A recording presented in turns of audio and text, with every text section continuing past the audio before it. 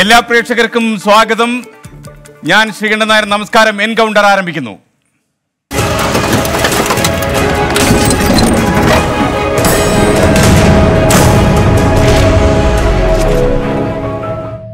കേരളത്തിൽ കോവിഡ് സ്ഥിരീകരിച്ചിട്ട് ഇന്ന് നൂറു ദിവസമായി. രോഗവ്യാപനം പിടിച്ചു നിർത്താൻ സംസ്ഥാനത്തിന് കഴിഞ്ഞു. പക്ഷേ നിതാന്ത ജാഗ്രത നിലനിർത്തി മാത്രമേ നമുക്കിനിയും മുന്നോട്ട് പോകാൻ കഴിയൂ. വിദേശ രാജ്യങ്ങളിൽ നിന്ന് പ്രവാസികളുടെ മടക്കയാത്ര തുടരുകയാണ്. കേരളത്തിന് പുറത്ത് കുടുങ്ങിയ മലയാളികളുടെ ദുരിത ജീവിതവും പരിഗണിക്കാതെ നമുക്ക് പോകാൻ കഴിയില്ല. മുംബൈയിലും ചെന്നൈയിലും ഡൽഹിയിലും അടക്കം കോവിഡ് വ്യാപനം തീവ്രമായ നഗരങ്ങളിൽ മതിയായ ഭക്ഷണം പോലും ലഭിക്കാത്ത മലയാളികൾ ദുസ്സഹമായ ജീവിതത്തിലൂടെ കഴിഞ്ഞുകൂടുന്നു. ഇവരിൽ ഗർഭിണികളും രോഗികളും കുഞ്ഞുങ്ങളും വരെയുണ്ട്. അവരുടെ മടക്കയാത്ര ഇനി വൈകാൻ പാടില്ല. ഈ പശ്ചാത്തലത്തിൽ എൻകൗണ്ടർ പരിശോധിക്കുന്നു. കേരളത്തിന് പുറത്ത് ദുരിതം അനുഭവിക്കുന്ന മലയാളികളുടെ പ്രശ്നങ്ങൾ.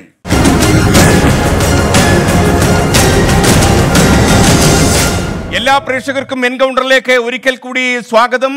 സംസ്ഥാനത്തിന് പുറത്തു കഴിയുന്ന മലയാളികളുടെ ജീവിതത്തിലേക്ക് കണ്ണാടി പിടിക്കാനാണ് ഈ സംവാദം കൊണ്ട് നമ്മൾ ഉദ്ദേശിക്കുന്നത്. ആദ്യം ഞാൻ മന്ത്രി ശ്രീ എ സി മൊയ്തീനിലേക്ക് പോകുന്നു. അദ്ദേഹം ഈ സംവാദത്തിൽ പങ്കെടുത്തു ശ്രീ എ സി മൊയ്തീൻ നമുക്ക് പല കാരണങ്ങളാലും ഈ കേരളത്തിന് പുറത്തു കഴിയുന്ന പല ആളുകളെയും സഹായിക്കാൻ സഹായിക്കാൻ കഴിയാത്ത ഒരു സാഹചര്യം ഇപ്പോഴുണ്ട്. പക്ഷെ അതിലേക്ക് വരും മുമ്പ് ഇന്ന് കേരളത്തിലെ കോവിഡ് നയന്റീൻ അതിന്റെ സ്ഥിതി എന്താണ്? അതൊരു അപ്ഡേറ്റ് അങ്ങ് നൽകിക്കഴിഞ്ഞാൽ നമുക്ക് ഈ പ്രശ്നത്തിലേക്ക് കിടക്കാം. നേരത്തെ അങ്ങ് വാർത്തയിൽ പറഞ്ഞ പോലെ ഒരു കേസാണെന്ന് റിപ്പോർട്ട് ചെയ്തത് അത് ചെന്നൈയിൽ നിന്ന് വന്ന കിഡ്നി രോഗമുള്ള ഒരാൾക്കാണ് എറണാകുളത്ത് നിന്ന് അത് സ്ഥിരീകരിച്ചത് എന്ന് നമ്മൾ മനസ്സിലാക്കി. രോഗവ്യാപനം കുറയുക സുഖപ്പെട്ടവരുടെ എണ്ണവും ഭേദപ്പെട്ട രീതിയിൽ ഇപ്പോൾ കണ്ണൂരിൽ നിന്ന് പത്ത് പേർ ഇന്ന് സുഖപ്പെട്ടു എന്നുള്ള വാർത്തയുണ്ട്. കേരളത്തിലെ നമ്മുടെ കൂട്ടായ പരിശ്രമം കോവിഡ് പ്രതിരോധത്തിൽ വിജയം കണ്ടു തുടങ്ങിയിരിക്കുന്നു എന്ന് വേണം ഈ ഫലങ്ങളൊക്കെ സൂചിപ്പിക്കുന്നു സൂചിപ്പിക്കുന്നത്. തീർച്ചയായും ഈ പശ്ചാത്തലത്തിൽ കൂടുതൽ ജാഗ്രതയോടുകൂടി ഇനി ഉള്ള സമയത്ത് നമുക്കിതിനെ പ്രതിരോധിക്കാൻ കഴിയേണ്ടതുണ്ട് എന്നുകൂടി ഈ സന്ദർഭത്തിൽ ഓർക്കണം എന്ന് ഞാൻ കരുതുന്നു. ഈ സമൂഹ വ്യാപനത്തിന്റെ വലിയ പ്രശ്നങ്ങൾ നമ്മുടെ അയൽ സംസ്ഥാനം ഉൾപ്പെടെ തൊട്ടടുത്ത ആര്യങ്കാവിനപ്പുറത്തുള്ള പ്രത്യേക പ്രദേശത്ത് ഉൾപ്പെടെ ഉണ്ടായിരിക്കുന്നു എന്നുള്ള സ്ഥിതി നമ്മൾ കാണണം. ഇതര സംസ്ഥാനങ്ങളിൽ മഹാരാഷ്ട്രയിൽ ഉൾപ്പെടെയുള്ള സ്ഥലത്ത് മലയാളികളുള്ള സ്ഥലത്തും ഡൽഹിയിലും ഗുജറാത്തിലുമൊക്കെ ഇപ്പോൾ ഈ വ്യാപനം തുടരുകയാണ് അപ്പോൾ ഭീതിയിൽ നിന്ന് അകന്നു നിൽക്കാൻ നമുക്കായിട്ടില്ല എന്നുള്ള സാഹചര്യമാണ്. പക്ഷേ നമ്മളതിൽ വലിയൊരളവോളം വിജയിച്ചിരിക്കുന്നു. കേരളം ഒരു മാതൃകയായി ഇപ്പോഴും നിലനിൽക്കുക. നമുക്ക് ഈ കരുതൽ സൂക്ഷിക്കുകയും മുന്നോട്ട് പോവുകയും ചെയ്യേണ്ട സാഹചര്യമുണ്ട് എന്നാണ് ഞാൻ വിചാരിക്കുന്നത്. ഈ ഞാനങ്ങയുടെ മറ്റൊരു കാര്യം കൂടി ചോദിച്ചു കഴിഞ്ഞാൽ ഇന്നിപ്പോൾ കുറച്ചധികം മലയാളികൾ ചിലരുടെ കേസിലൊക്കെ നമുക്ക് വളരെ പെട്ടെന്ന് തീരുമാനം എടുക്കാൻ കഴിയില്ല എങ്കിൽ പോലും അവരുടെ സ്ഥിതി വളരെ വളരെ ദുഃഖപൂർണമാണ് വളരെ സങ്കടത്തോടെയാണ് അവരെല്ലാം സംസാരിക്കുന്നത്. ഞങ്ങൾ ശ്രീ സമ്പത്തിന്റെ പേരൊക്കെ പറഞ്ഞാൽ പലരോടും രക്ഷപ്പെട്ടത് തന്നെ. അദ്ദേഹം സഹായിക്കും എന്നൊക്കെ പറഞ്ഞിട്ടാണ് പലരോടും അവരെ സമാശ്വസിപ്പിച്ചതൊക്കെ. അപ്പം ഗവൺമെന്റിന്റെ ശ്രദ്ധയിൽ ഇക്കാര്യം പെട്ട് കാണുമെന്ന് ഞങ്ങൾക്കറിയാം. എന്താണ് സർക്കാരിന്റെ ഒരു വിലയിരുത്തൽ ഇക്കാര്യത്തിൽ? കേരളത്തിന് പുറത്ത് കഴിയുന്ന പ്രത്യേകിച്ച് തമിഴ്നാട് മഹാരാഷ്ട്ര ഡൽഹി ഗുജറാത്ത് ഇങ്ങനെയൊക്കെയുള്ള തീവ്രമായി രോഗം ബാധിച്ച സംസ്ഥാനങ്ങളിൽ കുടുങ്ങിക്കിടക്കുന്ന മലയാളികളാണ് കൂടുതലും പെട്ടെന്ന് ഇങ്ങോട്ട് വരാൻ ശ്രമിക്കുന്നത് തന്നെ. തീർച്ചയായും. നമ്മുടെ സഹോദരങ്ങളാണ് നമ്മുടെ നാട്ടിലേക്കാണ് അവർ തിരിച്ചു വരുന്നത്. അവർ തിരിച്ചു വരണം എന്ന് തന്നെയാണ് ഗവൺമെന്റ് അവരെ തിരിച്ചു കൊണ്ടുവരണം എന്ന് തന്നെയാണ് ഗവൺമെന്റ് തീരുമാനിച്ചിട്ടുള്ളത്.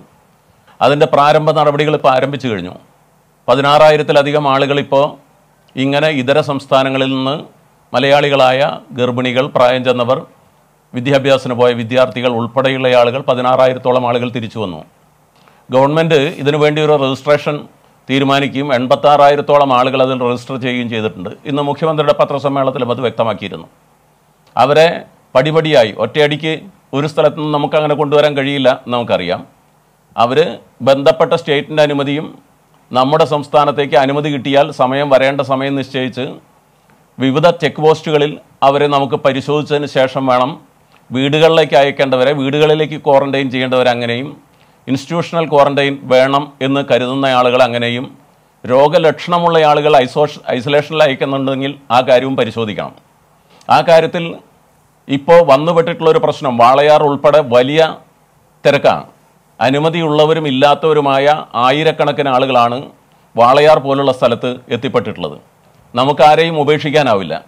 അപ്പോൾ തീരെ പരിശോധനയില്ലാതെ നമ്മുടെ സംസ്ഥാനത്തകത്തേക്ക് കടത്താനും ആവില്ല. അപ്പോൾ അതുകൊണ്ട് അവരെ പരിശോധിക്കാൻ അല്പം സമയമെടുക്കുന്നു എന്നുള്ള വസ്തുതയാണ്. അതിന്റെ കാലതാമസവും ഉണ്ടായിട്ടുണ്ട്. ഒന്നും രണ്ടും മണിക്കൂറുമൊക്കെ ചിലർക്ക് കാത്തിരിക്കേണ്ടി വന്നു എന്നുള്ള വാർത്തയും ഇന്നുണ്ടായിട്ടുണ്ട്. പരമാവധി ഇനി അതിന്റെ കൗണ്ടറുകൾ കൂട്ടാനും ആളുകളെ കേരളത്തിലേക്ക് പ്രവേശിപ്പിക്കാനും വരുന്ന ആളുകളെ സൂക്ഷ്മമായി പരിശോധിച്ച് അവരവർ അതാത് സ്ഥലത്ത് തുടരുന്നുണ്ട് എന്ന് ഉറപ്പുവരുത്താനുള്ള സംവിധാനം ഉണ്ടാക്കാൻ വേണ്ടിയാണ് ശ്രമിക്കുന്നത്. റെഡ് സ്പോട്ടിൽ നിന്നുള്ള അല്ലെങ്കിൽ റെഡ് സോണിൽ നിന്നുള്ള നാൽപ്പത്തയ്യായിരത്തോളം ആളുകൾ രജിസ്റ്റർ ചെയ്തിട്ടുണ്ട്. ഇന്നിപ്പോൾ ഗവൺമെന്റ് നിലപാട് മുഖ്യമന്ത്രി വ്യക്തമാക്കുകയുണ്ടായി. വിദ്യാർത്ഥികൾ ഉൾപ്പെടെയുള്ള ആളുകൾക്ക് നമ്മുടെ രാജ്യത്തിന്റെ വിവിധ ഭാഗങ്ങളിൽ നിന്ന് നോൺ സ്റ്റോപ്പ് ട്രെയിനുകൾ ആരംഭിക്കണം. അതുവഴി അവരെ തിരിച്ചു കൊണ്ടുവരണം. അതിന് ഡൽഹി കേന്ദ്രീകരിച്ച് ഡൽഹി മുഖ്യമന്ത്രിയോടും പഞ്ചാബിൽ നിന്നുള്ള വിദ്യാർത്ഥികളെ ഡൽഹിയിലേക്ക് എത്തിക്കാനും ഹിമാചൽ പ്രദേശിൽ നിന്നുള്ള വിദ്യാർത്ഥികളെ ഡൽഹിയിലേക്ക് എത്തിക്കാനും അങ്ങനെ ഒരു നോൺ സ്റ്റോപ്പ് ട്രെയിൻ അവിടെയുള്ള ഗർഭിണികൾ ഉൾപ്പെടെയുള്ള ആളുകളെ കൊണ്ടുവരാനും വേണ്ടിയുള്ള സംവിധാനത്തിനെ കുറിച്ചാണ് ഗവൺമെന്റ് ഗൗരവപൂർവം ആലോചിക്കുന്നത്. മറ്റു സംസ്ഥാനങ്ങളിൽ നിന്ന് തൊട്ടടുത്ത ദക്ഷിണേന്ത്യൻ സംസ്ഥാനങ്ങളിലുള്ള നിരവധി ആളുകൾ മഹാരാഷ്ട്രയിലും ഗോവയിലും ഉൾപ്പെടെയുള്ള ആളുകൾ അവർ വാഹനങ്ങളിൽ ഇപ്പോൾ വന്നുകൊണ്ടിരിക്കുക. പാസ് ഉള്ളവരും ഇല്ലാത്തവരുമായ ആളുകളുണ്ട്. പക്ഷേ അവരെ ആരെയും തിരിച്ചയക്കുക എന്നുള്ളതല്ല സംസ്ഥാനത്തിന്റെ നയം. അവരെ സുരക്ഷിതമായി സ്വീകരിച്ച് രോഗവ്യാപനത്തിന് ഇടയാക്കുന്ന ഘടകങ്ങളൊന്നും അവർക്കില്ല എന്ന് ഉറപ്പുവരുത്തി നമ്മുടെ അതിർത്തികളിൽ പരിശോധിപ്പിച്ച് ആവശ്യമായ സൗകര്യങ്ങളോടെ താമസിക്കാനുള്ള സൗകര്യവും ഭക്ഷണവും ആരോഗ്യ സുരക്ഷിതത്വം ഒക്കെ ഉറപ്പാക്കാൻ കഴിയുന്ന രീതിയിൽ ഈ കാര്യം ഗവൺമെന്റ് പരിഗണിച്ച് വരികയാണ്. തീർച്ചയായും ആളുകളുടെ വലിയ ഉത്കണ്ഠയുണ്ട്. അവിടെയുള്ള ആളുകൾ മാത്രമല്ല കേരളത്തിലെ ഇത്തരം ആളുകളുടെ കുടുംബാംഗങ്ങൾ അവരുടെ മാതാപിതാക്കളും രക്ഷിതാക്കളും അവരുടെ കുടുംബമാകെ അവർ തിരിച്ചു വരണം അതിവേഗത്തിൽ തിരിച്ചു വരണമെന്ന് ആഗ്രഹിക്കുന്നവരാണ് നമ്മളെല്ലാവരും ആ രീതിയിലാണ് ആഗ്രഹിക്കുന്നത്. പക്ഷേ വളരെ പെട്ടെന്ന് ഒരു ദിവസം കൊണ്ട് ഇത്രയും ആളുകളെ ഇങ്ങനെയുള്ള സ്ഥലത്ത് നിന്ന് എത്തിക്കാൻ കഴിയുന്നില്ല കഴിയില്ല എന്നുള്ള യാഥാർത്ഥ്യം അവർ മനസ്സിലാക്കണം. വളരെ നമുക്ക് സമയമെടുത്ത് ചെയ്യേണ്ട ചില കേസുകൾ ഉണ്ടാകാം പരിശോധിച്ച് ചെയ്യേണ്ട കേസുകൾ ഉണ്ടാകാം. കേന്ദ്ര ഗവൺമെന്റും പ്രധാനമന്ത്രിയും പ്രഖ്യാപിച്ചത് ഇപ്പോഴവർ സേഫായ സ്ഥലത്താണെങ്കിൽ അവർ അവിടെ തന്നെ തുടരണം എന്നാ. എല്ലാവരും തിരിച്ചു വരണമെന്നല്ല അപ്പോൾ വ്യാപനം തടയുന്നതിന് നമ്മൾ ലോക്ക്ഡൗണിന്റെ ഭാഗമായി ആ തീരുമാനിച്ച കാര്യം ഇപ്പോഴും നിലനിൽക്കുക. പക്ഷേ എങ്കിലും വിദേശ രാജ്യങ്ങളിൽ നിന്ന് ഉൾപ്പെടെ നമ്മുടെ സഹോദരങ്ങൾ തിരിച്ചു വരുമ്പോൾ രാജ്യത്തിനകത്തുള്ള മലയാളികളായ നമ്മുടെ സഹോദരങ്ങൾ വരരുതെന്ന് തീരുമാനിക്കാൻ നമ്മൾ നമുക്കാവില്ല. അവരെ സ്വാഗതം ചെയ്യുന്ന നിലപാട് തന്നെയാണ് സ്വീകരിക്കുന്നത്. അതിനാവശ്യമായ സൗകര്യങ്ങൾ സർക്കാർ ഒരുക്കിക്കൊണ്ടിരിക്കുകയാണ്. വലിയ ഒരളവോളം ആളുകൾ ഇപ്പോൾ വന്നു കഴിഞ്ഞിട്ടുമുണ്ട്. ഓക്കെ ഞാൻ അങ്ങയുടെ അങ്ങയിലേക്ക് വീണ്ടും വരാം. കേരള സർക്കാരിന്റെ ഡൽഹിയിലെ പ്രത്യേക പ്രതി ഡോക്ടർ എ. സമ്പത്ത് നമുക്കൊപ്പം ചേരുന്നു. ഡോക്ടർ സമ്പത്ത് താങ്കൾക്ക് ഒരുപക്ഷെ എന്നെക്കാളും നന്നായിട്ട് അറിയാം ഈ വെളിയിൽ കുടുങ്ങിപ്പോയിട്ടുള്ള മലയാളികളുടെ കാര്യം. അവിടെ നിന്നൊക്കെ ആൾക്കാരെല്ലാം പരാതികളും ഒക്കെ താങ്കളോടും പറഞ്ഞു കാണുമല്ലോ. ഇപ്പം തന്നെ സംസ്ഥാന സർക്കാരിൽ എത്തുന്ന പോലെ തന്നെ ഡൽഹിയിലെ താങ്കളുടെ ഓഫീസിലും ഇത് എത്തിക്കാണുമെന്നാണ് എന്റെ വിശ്വാസം. എന്ത് എങ്ങനെയാണ്? പ്രത്യേകിച്ച് നമ്മൾ ഇപ്പം ഗുജറാത്തിലെ അഹമ്മദാബാദ് പോലെ രോഗം തീവ്രമായിട്ടുള്ള സ്ഥലങ്ങളിലും മലയാളികൾ കുടുങ്ങിക്കിടപ്പുണ്ട്. അവരെയൊക്കെ നമുക്ക് പരിശോധന കൂടാതെ കേരളത്തിലേക്ക് കൊണ്ടുവരാനും ആകില്ല. ഈ ഒരു വല്ലാത്ത അവസ്ഥയിലൂടെയാണ് കേരളം കടന്നു പോകുന്നത് താങ്കളുടെ ഒരു ആദ്യ പ്രതികരണം ഇക്കാര്യത്തിൽ എങ്ങനെയാണ്? ശ്രീ ശ്രീകണ്ഠൻ നായർ നമ്മുടെ ഈ ചർച്ചയുടെ തുടക്കത്തിൽ സൂചിപ്പിച്ചതുപോലെ തന്നെ കേരളത്തിൽ ഇത് ഈ കോവിഡ് ബാധ അത് ആദ്യമായി നമ്മുടെ ഇവിടെ ഒരു കേസ് കണ്ടെത്തിയതിന് ശേഷം ഇന്നിപ്പോൾ ഇത് നൂറാമത്തെ ദിവസമാണ്. നമ്മൾ ഈ പോരാട്ടം നമ്മൾ ആരംഭിച്ചിട്ട് നൂറാമത്തെ ദിവസമാണ്. കേരളം ഈ പോരാട്ടം ആരംഭിച്ചിട്ട്. അപ്പോൾ ചൈനയിലെ വുഹാനിൽ ആദ്യം ഇതൊരു പ്രത്യേകതരം ന്യൂമോണിയ എന്നുള്ള നിലയിലേക്കെല്ലാം അങ്ങനെ റിപ്പോർട്ട് ചെയ്യപ്പെട്ട് വരികയും പിന്നീട് ഇത് കൊറോണ വൈറസ് ആണ് കാരണമെന്നുള്ള നിലയിലേക്കൊക്കെ വരികയും ചെയ്ത്. ഇത് നമ്മുടെ ശ്രദ്ധയിലേക്ക് മാധ്യമങ്ങൾ താങ്കൾ ഉൾപ്പെടെയുള്ളവരെല്ലാം അത് കൊണ്ടുവന്ന്. അപ്പോൾ കേരളത്തിന്റെ മുഖ്യമന്ത്രി ശ്രീ പിണറായി വിജയൻ ഫെബ്രുവരി ഇരുപതാം തീയതി അദ്ദേഹം ഇന്ത്യയുടെ വിദേശകാര്യ വകുപ്പ് മന്ത്രിക്ക് ഒരു കത്തയക്കുകയുണ്ടായി ഇത് സംബന്ധിച്ച്. അതിനുശേഷം നാല് ദിവസം കഴിഞ്ഞപ്പോൾ ഇരുപത്തിനാലാം തീയതി അദ്ദേഹം പ്രധാനമന്ത്രിക്ക് ശ്രീ നരേന്ദ്രമോദിക്ക് തന്നെ അദ്ദേഹം ഈ കത്ത് അയക്കുകയുണ്ടായി. അത് അങ്ങനെ ഇന്ത്യ ഗവൺമെന്റിന്റെ ശ്രദ്ധയിലേക്ക് കാര്യം പെടുത്തുകയുണ്ടായി. പിന്നീട് വുഹാനിലാണ് എങ്കിൽ അവർ ഇതിന്റെ ആ ഒരു തുടക്കത്തിൽ നമുക്കറിയാമല്ലോ അവർ അത് കംപ്ലീറ്റ് ലോക്ക്ഡൗൺ ആണ് അവർ ചെയ്തത്. ആരെയും പുറത്തേക്ക് വിടുകയോ അകത്തേക്ക് വിടുകയോ ചെയ്തില്ല. പല രാഷ്ട്രങ്ങളിൽ നിന്നും അവിടെ ഇവാക്വേഷൻ നടത്തുന്നതിന് വേണ്ടി വിമാനങ്ങൾ അയക്കുന്നതിനെല്ലാം തയ്യാറായപ്പോഴും അവർ പറഞ്ഞത് ഇപ്പോൾ അതിന് സമയമായിട്ടില്ല ഞങ്ങൾ ഇതിനെ നേരിടുകയാണ് എന്നുള്ള നിലയിലാണ്. അതിനുശേഷമാണ് പിന്നെ വുഹാനിൽ നിന്ന് അത്തരത്തിൽ നമ്മുടെ നാട്ടിലെ വിദ്യാർത്ഥികളടക്കം അങ്ങനെ ഡൽഹിയിലേക്ക് വരികയും അവരെ ക്വാറന്റൈന് വിധേയമാക്കുകയും പിന്നീട് അതിനുശേഷം അവർ നാട്ടിലേക്ക് എത്തിക്കുകയൊക്കെ ചെയ്ത്. അപ്പോൾ ജനുവരി മുപ്പതാം തീയതിയാണ്. ജനുവരി മുപ്പതിനാണല്ലോ നമ്മൾ കേരളത്തിൽ ആദ്യത്തേതായ ഇത്തരം ഒരു കേസിനെ സംബന്ധിച്ച് അതാണല്ലോ താങ്കളിപ്പോൾ പറഞ്ഞത് നമ്മൾ നൂറ് ദിവസമായ ഒരു പോരാട്ടത്തെ സംബന്ധിച്ച് പറഞ്ഞത്. ഇവിടെ ഒരു കാര്യം നമ്മളെല്ലാവരും ഓർക്കേണ്ടത്. ഇത്തരം ഒരു യുദ്ധരംഗം ഇതൊരു പോരാട്ട ഭൂമി. നമ്മളിപ്പോൾ ഈ ഇതിൽ നമ്മൾ ആരും ഈ ഒരു ഞാൻ ഈ ഉപയോഗിക്കുന്ന ആ ഒരു പദപ്രയോഗത്തോട് വിയോജിക്കുമെന്ന് ഞാൻ വിശ്വസിക്കുന്നില്ല. കാരണം ഇത് ഇത് ഒരു ഒരു കീടാണുവിനോട് ഒരു ഒരു മഹാമാരിയോടുള്ള ഒരു യുദ്ധം തന്നെയാണ്. മനുഷ്യരാശിയോട് യുദ്ധം പ്രഖ്യാപിച്ച ഒരു മഹാമാരിയെ ചെറുക്കാൻ വേണ്ടിയുള്ള നമ്മുടെ എല്ലാം ആത്മരക്ഷാർത്ഥമുള്ള ഒരു പോരാട്ടമാണ്. നമുക്ക് മുന്നിൽ ഒരു റോൾ മോഡൽ ഉണ്ടോ?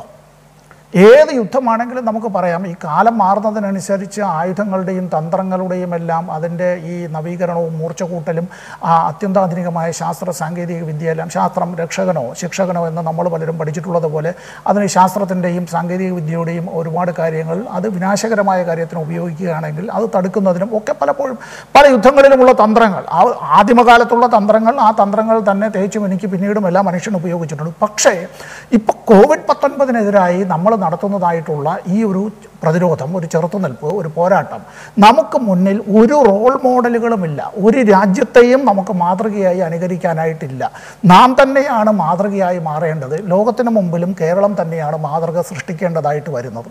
നാം ഏറ്റെടുത്തതായിട്ടുള്ളതൊരു ദൗത്യമാണ്. ഇതൊരു ദൗത്യമാണ്. ഈ ദൗത്യം നമ്മൾ നന്നായി കൃത്യമായി ജാഗ്രതയോടെ നമ്മളത് പൂർത്തീകരിച്ചേ മതിയാവൂ. അല്ലാതെ ഈ കാര്യത്തിൽ നമുക്കൊരു വിട്ടുവീഴ്ചയ്ക്കും കഴിയില്ല. ഇപ്പോൾ ബഹുമാനപ്പെട്ട പ്രധാനമന്ത്രി ആദ്യം പറയുകയുണ്ടായി എവിടെയാണോ നിങ്ങൾ നിൽക്കുന്നത് അവിടെ നിങ്ങൾ സുരക്ഷിതരായി തുടരുക എന്നത്. അത് മാത്രമാണ് ആ പ്രാരംഭഘട്ടത്തിൽ അങ്ങനെ ചെയ്യാൻ കഴിയുക. അല്ലാതെ ഒരു പാനിക് സ്ട്രിക്കണായി വല്ലാതെ ഓടുക വെപ്രാളപ്പെടുക എല്ലാവരിലേക്കും അങ്ങനെ പ്രത്യേകിച്ചും സമൂഹ മാധ്യമങ്ങളെല്ലാം ഉള്ളപ്പോൾ നമുക്കറിയാമല്ലോ ഇങ്ങനെ ഒരു എസ്റ്റാബ്ലിഷ്ഡ് മീഡിയയിൽ കൂടി ഇത്തരത്തിൽ ദൃശ്യമാധ്യമങ്ങളിലോ അച്ചടി മാധ്യമങ്ങളിലോ കൂടി വരുന്നതല്ലാതെ ഒരുപാട് നുണകൾ നട്ടാൽ കുറുക്കാത്ത നുണകൾ ആളുകളിലേക്ക് ഒരുപാട് വാസ്തവത്തിൽ ഭയപ്പാട് അത് ആ വിധത്തിൽ പ്രച അങ്ങനെ പ്രചരിപ്പിക്കുന്ന നിലയിലേക്ക് വരുമ്പോൾ ഇത് ആളുകൾ അന്തമുട്ട് ഓടുന്നൊരു നിലയിലേക്ക് വന്നു പോയാൽ പിന്നെ ഇത് എവിടെ ചെന്ന് നിൽക്കും? അപ്പോൾ. അത് പ്രധാനമന്ത്രി പറഞ്ഞ ആ ഒരു കാര്യം ആ ഒരു അവസരത്തിൽ അതല്ലാതെ മറ്റൊരു മാർഗം ഇല്ല. ഒന്നാം. രണ്ടാമത്തെ കാര്യം നമ്മൾ കേരളം ഉൾപ്പെടെയുള്ള സംസ്ഥാനങ്ങളിലേക്ക് നമ്മൾ മലയാളികളുടെ കാര്യത്തെക്കുറിച്ച് നമ്മൾ കൂടുതൽ പറയുന്നു. എല്ലാവർക്കും അവരവരുടെ ഭവനം എന്നത് അവരെ സംബന്ധിച്ച് വളരെ പ്രധാനപ്പെട്ടതാണ്. എല്ലാ ജീവിയെ സംബന്ധിച്ചും അഭയകേന്ദ്രം എന്നത് ഭവനം തന്നെയാണ്. ആ നാട്ടിലേക്ക് എത്തുക എന്നുള്ളത് തന്നെയാണ്.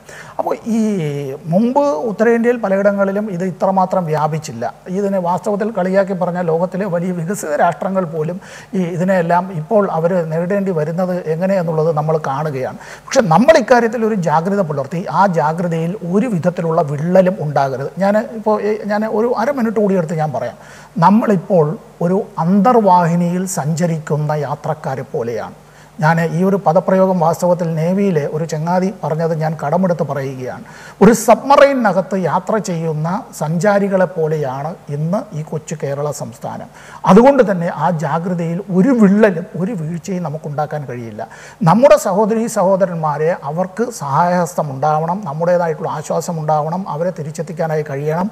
അവരെ തിരിച്ചെത്തിക്കുമ്പോൾ ഇന്നിപ്പോൾ എല്ലാ മാധ്യമങ്ങളും അവരെ സ്വാഗതം ചെയ്തത് തന്നെ. കയറുവാ മക്കളെ കേരളത്തിന്റെ സ്നേഹതീരം ആശ്വാസമായി ആദ്യത്തെ വിമാനം എത്തിയത് ഇത്തരം കാര്യങ്ങളെക്കുറിച്ചെല്ലാം പറയുമ്പോൾ അവർക്ക് കൂടുതൽ താങ്ങും തണലുമായി നമ്മുടെ പൊതുസമൂഹം മാറുക തന്നെയാണ് വേണ്ടത്.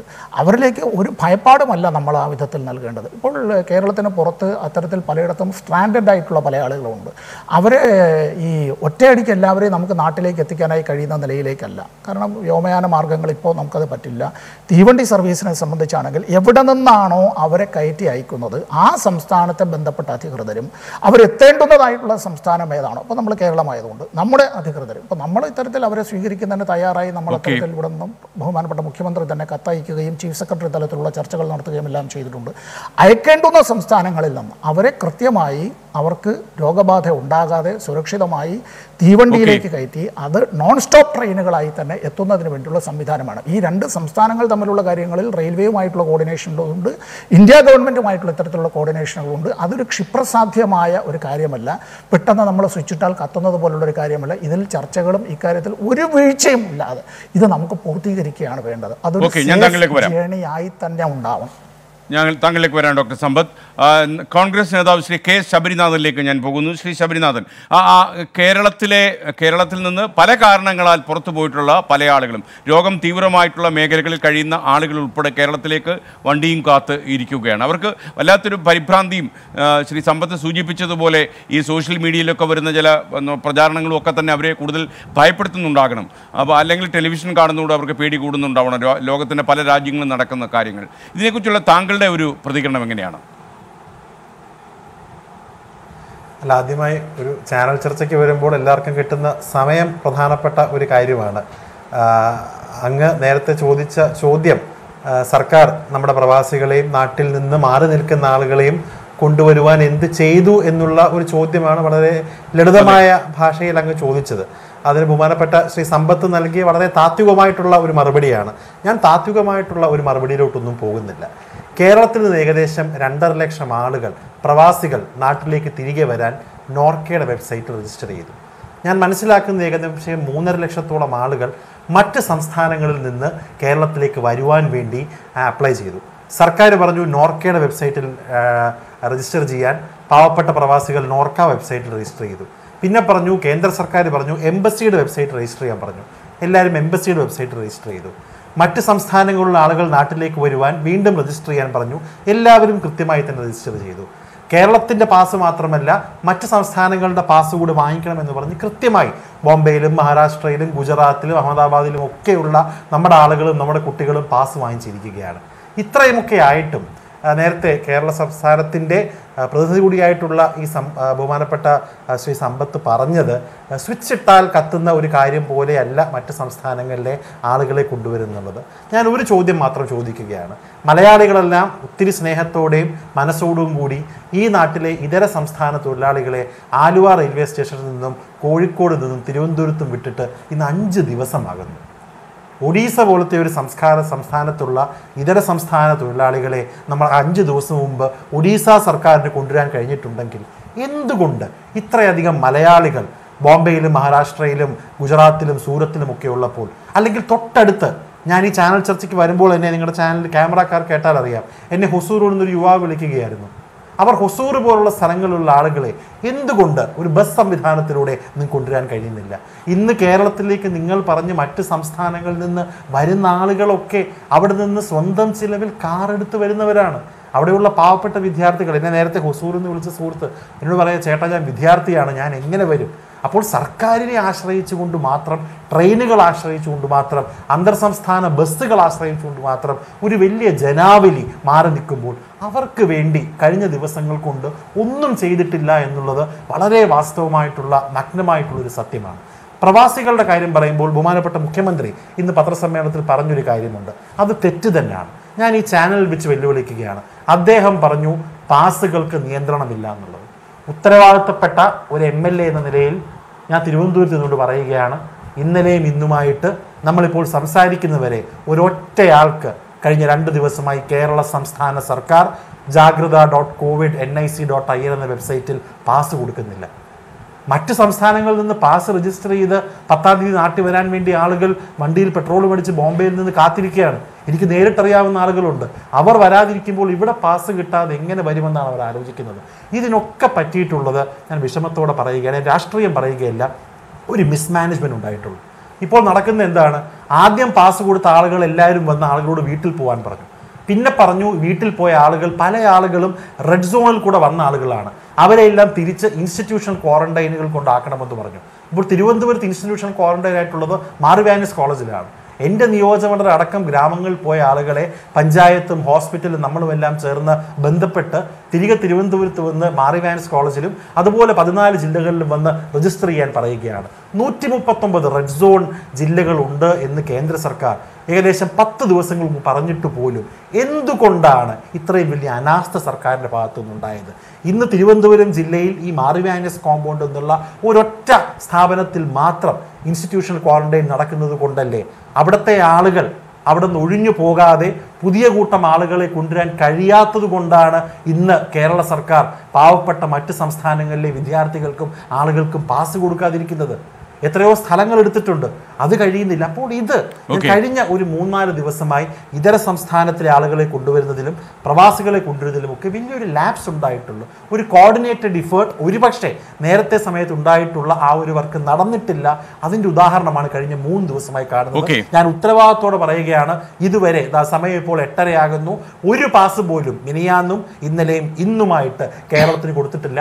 അതിനുള്ള മറുപടി ബഹുമാനപ്പെട്ട കേരള സർക്കാരിനെ പ്രതിനിധീകരിച്ച് വരുന്ന ബഹുമാനപ്പെട്ട മിനിസ്റ്റർ ശ്രീ എ സി മൊയ്തീനും കേന്ദ്രത്തിനുമായിട്ട് ബന്ധപ്പെട്ട് കാര്യങ്ങൾ ചെയ്യേണ്ട ശ്രീ എ സമ്പത്തും പറയണം എന്ന് ഈ ചാനൽ വെച്ച് ഞാൻ താങ്കളിലേക്ക് വരാം. ബി ജെ പി നേതാവ് ശ്രീ പി ആർ ശിവശങ്കറിലേക്ക് ഞാൻ പോകുന്നു. Shri P R Sivasankar Shri K S Sabarinathan ഉന്നയിച്ചൊരു വളരെ വളരെ സീരിയസ് ആയ ഒരു ആരോപണമാണ്.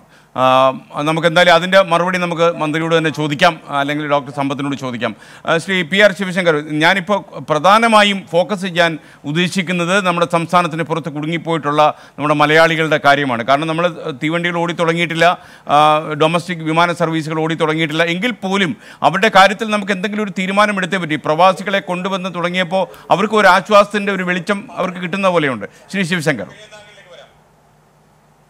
തീർച്ചയായും എസ് കെ. കാരണം ഈ പ്രവാസികളെ കൊണ്ടുവരുന്ന കാലഘട്ടത്തിൽ തന്നെ അന്യ സംസ്ഥാനത്തിലുള്ള അവിടുത്തെ തൊഴിലാളികളായാലും ജീവിക്കുന്നവരോടും നമ്മൾ കുറച്ചുകൂടി സ്നേഹവും കുറച്ചുകൂടി ആത്മാർത്ഥതയും കാണിക്കണമായിരുന്നു എന്ന് പൊതുവെ അഭിപ്രായമുണ്ട് കാരണം പ്രവാസികൾ അവർക്കൊരു പക്ഷേ ഇത്തരത്തിൽ മറ്റ് സംസ്ഥാനങ്ങളിൽ ജീവിക്കുന്നവരെക്കാൾ കുറച്ചുകൂടി ഭേദപ്പെട്ട സാമ്പത്തിക അവസ്ഥയായിരിക്കാം എന്ന് വേണമെങ്കിൽ ചിന്തിച്ചാൽ ഇനി അല്ലെങ്കിൽ പോലും സംസ്ഥാനത്തിന് പുറത്ത് താമസിക്കുന്ന മലയാളികളുടെ കേരളീയരുടെ സ്ഥിതി നമ്മൾ കുറച്ചൊക്കെ അവ്യക്തമായി അല്ലെങ്കിൽ അവരോട് അവജ്ഞ കാണിച്ചു എന്നുള്ളത് തന്നെയാണ് പൊതുവേ ഇന്നത്തെ സ്ഥിതിയിൽ കേരളീയരുടെ അഭിപ്രായം. കാരണം ശബരിനാഥ് പറഞ്ഞത് കൂടാതെ ഒരൊറ്റ കാര്യം കൂടി ഞാൻ സൂചിപ്പിക്കാം. എനിക്ക് നമ്മളെല്ലാം മറന്നാലും മന്ത്രി ശ്രീ മൊയ്തീൻ ഒരിക്കലും മറക്കാൻ സാധ്യതയില്ല. അദ്ദേഹം തന്നെ ഉദ്ഘാടനം ചെയ്ത അദ്ദേഹത്തിന്റെ ജില്ലയിലുള്ള എനിക്കൊന്ന് മായന്നൂർ ജവഹർ നവോദയ സ്കൂൾ അവിടെ പെട്ടുപോയ രാജസ്ഥാനിലെ ശ്രീ ശബരിനാഥിന്റെ സംസ്ഥാനമാണ്. രാജസ്ഥാനിലെ കുട്ടികളെ കൊണ്ടുവരുവാൻ രാജസ്ഥാനിൽ നിന്ന് ബസ് വിടുകയും പോലീസുകാരും ഡോക്ടർമാരും അടക്കം ബസ് വിടുകയും ബഹുമാനപ്പെട്ട മന്ത്രി തന്നെ ഉദ്ഘാടനം ചെയ്തിട്ടാണ് അവിടെ നിന്ന് കുട്ടികളെ പറഞ്ഞു വിട്ടത്. അതൊരു വലിയ സംസ്കാരമാണ്. ഏതാണ്ട് അഞ്ച് ദിവസത്തിന് മുൻപാണ് നടന്നത്. അപ്പോൾ മറ്റു സംസ്ഥാനങ്ങളിൽ നിന്ന് ഇത്ര ദൂരെ വരെ ബസ് വിടുകയും ആളുകളെ കൊണ്ടുപോവുകയും ചെയ്യുന്ന സംസ്ഥാനങ്ങളുണ്ട്. കർണാടക നമ്മുടെ മുന്നിലുണ്ട്. കർണാടകയിൽ നിന്ന് ഏതാണ്ട് ആയിരത്തോളം ബസ്സുകൾ മറ്റ് സംസ്ഥാനങ്ങളിലേക്ക് വിട്ട് ജനങ്ങളെ കൊണ്ടുവന്നു. യു പി കൽ കോട്ടയിലുള്ള രാജസ്ഥാനിലെ ഒരു പ്രധാനപ്പെട്ട ജംഗ്ഷനിലുള്ള ഏതാണ്ട് ഇരുപത്തയ്യായിരോളം വിദ്യാർത്ഥികളെ തിരിച്ചു ഒന്ന് ഒന്ന് ക്ഷമിക്കാമെന്നുണ്ടെങ്കിൽ മിനിസ്റ്റർ എന്തോ പറഞ്ഞോ? ഞാൻ എന്തോ പറഞ്ഞു ശ്രീ എ സി മൊയ്തീൻ താങ്കൾ എന്തോ പറഞ്ഞ പോലെ തോന്നി. ഞാൻ ഞാൻ ശ്രീ മറ്റേ ശ്രീ ശിവശങ്കറിന്റെ സംസാരമൊന്നും എനിക്ക് കേൾക്കാൻ കഴിയില്ലായിരുന്നു എന്ന് പറയായിരുന്നു. Okay okay okay. ടെക്നിക്കലി എന്തായാലും അത് അത് അത് അത് നമ്മുടെ ടെക്നീഷ്യൻസ് പരിഹരിക്കും. ശ്രീ ശിവശങ്കർ പറഞ്ഞ കാര്യം ഞാനത് ആവർത്തിച്ച് അദ്ദേഹത്തോട് പറയാം. അല്ലെങ്കിൽ താങ്കൾക്ക് ഒന്നുകൂടി മിനിസ്റ്റർ സംസാരിക്കുമ്പോൾ പറയാം തീർച്ചയായിട്ടും. താങ്കൾ തുടരൂ. അപ്പോൾ മറ്റ് സംസ്ഥാനങ്ങൾ മാതൃകയായിട്ട് കേരളത്തിനോട് ചെയ്തിട്ടുണ്ട്. എനിക്ക് സൂചിപ്പിക്കാനുള്ളത് കേരളത്തിന്റെ ശബ്ദം ഉയർത്തി പറഞ്ഞാൽ കുറച്ചുകൂടി നന്നായിരിക്കും എന്ന് എനിക്ക് തോന്നുന്നു. ആ. പറഞ്ഞോളൂ. കേരളത്തിന്റെ ഇന്നത്തെ അവസ്ഥയിൽ നമുക്ക് തീർച്ചയായിട്ടും ചെയ്യാവുന്ന ചെറിയ ചെറിയ കാര്യങ്ങൾ. മദ്രാസിലോ ഇവിടുത്തെ തൊട്ടടുത്ത് മാംഗ്ലൂരിൽ നിന്നായാലോ കോയമ്പത്തൂരിൽ നിന്നായാലോ ബാംഗ്ലൂരിൽ നിന്നായാലോ ഉള്ള മലയാളികളെ അവിടെയല്ലോ ഹൈദരാബാദ് വരെ യഥാർത്ഥത്തിൽ ബോംബെ വരെ നമുക്ക് ബസ് സർവീസ് ഉള്ളതാണ്. ഇത്തരത്തിലുള്ള സംസ്ഥാനങ്ങളിൽ നിന്ന് പോലും ഒരു പക്ഷേ ട്രെയിനിനെ ആശ്രയിക്കാണ്ട് തന്നെ ഇന്ന് K S R T C ഉപയോഗിച്ചുകൊണ്ട് വെറുതെ കിടക്കുന്ന K S R T C ഉപയോഗിച്ചുകൊണ്ട് അത്യാവശ്യമുള്ള ആളുകളെങ്കിലും കൊണ്ടുവരുവാനായിട്ടുള്ള ഒരു ഒരു ഒരു നിയന്ത്രിതമായെങ്കിലും കൊണ്ടുവരാനായിട്ടുള്ള ഒരു സംരംഭം സംസ്ഥാന സർക്കാർ ചെയ്തില്ല എന്നുള്ള കാര്യം പറയുന്നതിൽ എനിക്ക് വിഷമമുണ്ട്. അത് സംസ്ഥാന സർക്കാർ ചെയ്യേണ്ടതായിരുന്നു. അതിനുള്ള പാസുകളും ഇഷ്യൂ ചെയ്യേണ്ടതായിരുന്നു. രണ്ട് സംസ്ഥാന സർക്കാർ നിരന്തരം ചെയ്യേണ്ട കാര്യങ്ങൾ. ഇത് ഇത്തരത്തിൽ വരുന്ന ആളുകളെ മുഴുവൻ ആ ഒരു ഒരു പ്രത്യേക സ്ഥലത്ത് ചെക്കിംഗ് നടത്താണ്ട്. എനിക്ക് തോന്നുന്നത് ഇപ്പോൾ പാലക്കാടും അതേപോലെ മാംഗ്ലൂരുമൊക്കെ ഉള്ള ഈ ഈ ടെസ്റ്റിംഗ് സെന്ററിൽ ആവശ്യാനുസരണമായുള്ള ഡോക്ടർമാരോ മറ്റ് ആരോഗ്യ പ്രവർത്തകരോ ഇല്ല. അത് കാരണമാണ് അവർ രണ്ടും മൂന്നും മണിക്കൂർ അവിടെ ചുറ്റിക്കിടക്കേണ്ടി വരുന്നത്. ഇത് മാറ്റുവാനായിട്ട് സംസ്ഥാന സർക്കാരിന് ഇന്ന് നമ്മളുടെ കാര്യത്തിൽ നമ്മൾ മറ്റുള്ള പല ജില്ലകളിലും കോവിഡ് മുക്തമായിക്കൊണ്ട് അവിടെ നിന്ന് ട്രാൻസ്ഫർ ചെയ്ത ആരോഗ്യ പ്രവർത്തനം അവിടെ ഇടുവാനും ആ തരത്തിലുള്ള ചെക്കിംഗ് നടത്തുവാനും നേരത്തെ തീർക്കുവാനും കഴിഞ്ഞില്ല. ഇത് ഇതിനേക്കാൾ കൂടുതൽ പ്രശ്നമാകും കാരണം ഈ പ്രവാസികൾ വന്നു കഴിഞ്ഞ് ഇവിടെ കോവിഡിന്റെ മുഴുവൻ സംസ്ഥാനത്തെ എല്ലാ ജില്ലകളിലും പ്രധാനപ്പെട്ട ഒരു ഒരു കേന്ദ്രങ്ങളെല്ലാം നിറഞ്ഞു കഴിഞ്ഞാൽ ഈ അന്യ സംസ്ഥാനത്തെ ആളുകൾ കൂടി വന്നാൽ ഇവർ എന്ത് ചെയ്യാൻ പോകുന്നു? അപ്പോൾ ഇത്തരത്തിലുള്ള പ്രവാസികളെ കൊണ്ടുവന്ന് കൊണ്ടുവരുന്നതിനോടൊപ്പം തന്നെ അന്യ സംസ്ഥാനത്തുള്ള യഥാർത്ഥത്തിൽ ദുരിതം അനുഭവിക്കുന്ന അല്ലെങ്കിൽ ആരോഗ്യ പ്രശ്നമുള്ള ആളുകളെ കൊണ്ടുവന്ന് ഇത്തരം പ്രവർത്തനത്തിൽ മുൻകൈ എടുക്കുവാനുള്ള സംസ്ഥാന സർക്കാരിന്റെ ചില പ്രവർത്തനങ്ങളിൽ എന്തൊക്കെയോ പാളിച്ച സംഭവിച്ചിട്ടുണ്ട്. അത് സംസ്ഥാനത്തെ മന്ത്രിമാരുടെ മാത്രമായിരിക്കില്ല ഒരുപക്ഷെ ഇവിടുത്തെ ഉദ്യോഗസ്ഥരുടെ ആയിരിക്കും ഏതായാലും ശരിയായ പാളിച്ച സംഭവിച്ചു എന്നുള്ള കാര്യത്തിൽ തർക്കമില്ല. ഞാൻ താങ്കളിലേക്ക് വരാം പ്രശസ്ത റുമറ്റോളജിസ്റ്റ് ഡോക്ടർ പത്മനാഭ ഷെണായി കൂടി ഈ ചർച്ചയിൽ പങ്കെടുക്കുന്നു. ഡോക്ടർ പത്മനാഭ ഷെണായി ഇന്നലെ all India institute of medical sciences director അദ്ദേഹം ഒരു കാര്യം പറഞ്ഞു. ജൂൺ ജൂലൈ ആകുമ്പോൾ ഈ കോവിഡ് നയന്റീന്റെ കാര്യത്തിൽ അതിരൂക്ഷമായ ഒരു സാഹചര്യമായിരിക്കും ഇന്ത്യ നേരിടാൻ പോകുന്നത് എന്ന് അദ്ദേഹം വളരെ ബ്ലണ്ടായിട്ട് തന്നെ അദ്ദേഹം പറഞ്ഞു. ആളുകളെ ഭയപ്പെടുത്താൻ വേണ്ടി പറഞ്ഞല്ല അദ്ദേഹം ചില പഠനങ്ങളുടെ അടിസ്ഥാനത്തിൽ തന്നെയാണ് പറഞ്ഞത്. അപ്പോൾ ഇന്നിപ്പോൾ നമുക്ക് നൂറ് ദിവസം പിന്നിടുന്ന സമയത്ത് ഒരു രോഗി മാത്രമേ പോസിറ്റീവ് ആയിട്ടുള്ളൂ. നമുക്ക് സന്തോഷമുള്ള ആശ്വാസമുള്ള കാര്യമാണ്. എന്നാൽ മുഖ്യമന്ത്രി മറ്റൊരു കാര്യം ഓർമ്മിപ്പിച്ചത്. ഒരു സെക് ഒരു രണ്ട് ഒരു സെക്കൻഡ് വേവ് അല്ലെങ്കിൽ രണ്ടാം വ്യാപനം നമ്മൾ പറയുന്ന ഒരവസ്ഥയിലേക്ക് അല്ലെങ്കിൽ ഒരു വേറൊരു ഘട്ടത്തിലേക്ക് ഇത് കടക്കരുത് എന്നുകൂടി നമുക്ക് നിർബന്ധമുണ്ടെന്ന് പറഞ്ഞു. ഒരു വിദഗ്ധൻ എന്നുള്ള നിലയിൽ താങ്കൾ എങ്ങനെയാണ് ഇതിനെ കാണുന്നത്? എനിക്ക് തോന്നുന്നത് കേരളം ഒരു യുണീക്ക് പൊസിഷനിലാണ് വളരെ കുറച്ച് സ്റ്റേറ്റിലാണ് കേരളം അതുപോലെ തന്നെ ഒന്നോ രണ്ടോ സ്റ്റേറ്റ് ഒറീസ അങ്ങനെ ഒന്ന് രണ്ട് സ്റ്റേറ്റ് മൂന്ന് സ്റ്റേറ്റേ ഉള്ളൂ ഇന്ത്യയിൽ സമൂഹത്തിൽ ഈ വൈറസിന്റെ സാന്നിധ്യം ഇന്ന് ഇല്ലാതിരിക്കുന്നത്. അതായത് സമൂഹത്തിൽ നിന്ന് ഈ അസുഖം വേറൊരാൾക്ക് പിടി പടർന്നു പിടിക്കാനായിട്ട് സാധ്യത വളരെ കുറവാണ്. അങ്ങനെ ഒരു സാഹചര്യത്തിലുള്ളപ്പോൾ നമുക്ക് യുണീക്ക് പൊസിഷൻ വെച്ചാൽ നമുക്ക് പുറത്തുനിന്ന് വന്നവരെ കറക്റ്റായിട്ട് ട്രീറ്റ് ചെയ്ത് കറക്റ്റായിട്ട് ക്വാറന്റൈൻ ചെയ്ത് കഴിഞ്ഞാൽ നമുക്ക് മുമ്പോട്ട് പോകാൻ സാധിക്കും എന്നുള്ളതിൽ ഒരു സംശയവുമില്ല. നല്ല രീതിയിൽ മുന്നോട്ട് പോകാൻ സാധിക്കും. പക്ഷേ അതിൽ ഏറ്റവും ഇമ്പോർട്ടന്റ് നമ്മളൊരു ഒറ്റ തുരുത്തല നമ്മളൊരു ജീവിലല്ല ജീവിക്കുന്നത്. നേരത്തെ പറഞ്ഞതുപോലെ മറ്റ് സംസ്ഥാനങ്ങളിൽ നിന്ന് പുറത്തുനിന്ന് നമ്മുടെ സഹോദരങ്ങൾ വരുന്നുണ്ട്. അപ്പോൾ അവരെ കറക്റ്റായിട്ട് ക്വാറന്റൈൻ ചെയ്ത് ടെസ്റ്റ് ചെയ്ത് സമൂഹത്തിലോട്ട് ഇറക്കി വിട്ട് കഴിഞ്ഞാൽ നമ്മൾ ലോകത്തിന് തന്നെ മാതൃകയാകും. ഇപ്പം തന്നെ ആളുകളെല്ലാം പറയുന്നൊരു കാര്യമുണ്ട്. കാരണം എന്തുകൊണ്ടാണ് ജൂണിലും ജൂലൈയിലും പീക്ക് എന്ന് പറയുന്നത്? നമ്മൾ ഫ്ലാറ്റ് ആൻഡ് ദ കർവ് എന്ന് പറയുന്നത് നമ്മൾ മനസ്സിലാക്കുന്നു. നമ്മൾ ഫ്ലാറ്റിനെ നമ്മുടെ കർവിനെ നമ്മൾ കൃഷി ചെയ്യുന്നില്ല. പല സ്ഥലങ്ങളിലും ഇപ്പോഴും കർവ് കൂടിക്കൊണ്ടിരിക്കുകയാണ്. മഹാരാഷ്ട്ര നമുക്കറിയാം ഡൽഹി അറിയാം ഗുജറാത്ത്. ഈ മൂന്ന് സ്റ്റേറ്റിലാണ് വളരെ മോശമായ രീതിയിൽ കേസുകൾ വന്നുകൊണ്ടിരിക്കുന്നതും ഡെത്ത് റേറ്റ് കൂടുന്നു ബംഗാളിലും കുറച്ച് ഇഷ്യൂസ് ഉണ്ട്. അപ്പോൾ ഈ കേസ് ഈ സ്ഥലങ്ങളിൽ നമ്മുടെ നാട്ടിലേക്ക് വരുന്നവരെ ഈ റെഡ് സോൺസിൽ നിന്ന് വരുന്ന ആളുകളെ നമ്മൾ നന്നായിട്ട് കണ്ടെയ്ൻ ചെയ്യേണ്ടി വരും. അവരെ നല്ല രീതിയിൽ ഇൻസ്റ്റിറ്റ്യൂഷണൽ ക്വാറന്റൈൻ ചെയ്ത് ഇരുപത്തെട്ട് ദിവസത്തിന് ശേഷം മാത്രം സമൂഹത്തിൽ ഇറക്കി വിട്ടാൽ മാത്രമേ നമ്മുടെ സമൂഹത്തിന് സംസ്ഥാനത്ത് രണ്ട് ഈ അടുത്ത വേവ് ജയിക്കാൻ സാധിക്കും. പക്ഷേ അതിന് വലിയ ഒരു പ്രോസസ്സാണ് നമ്മൾ പറഞ്ഞു അഞ്ച് ലക്ഷം ആറ് ലക്ഷം ആളുകൾ വരുന്നു.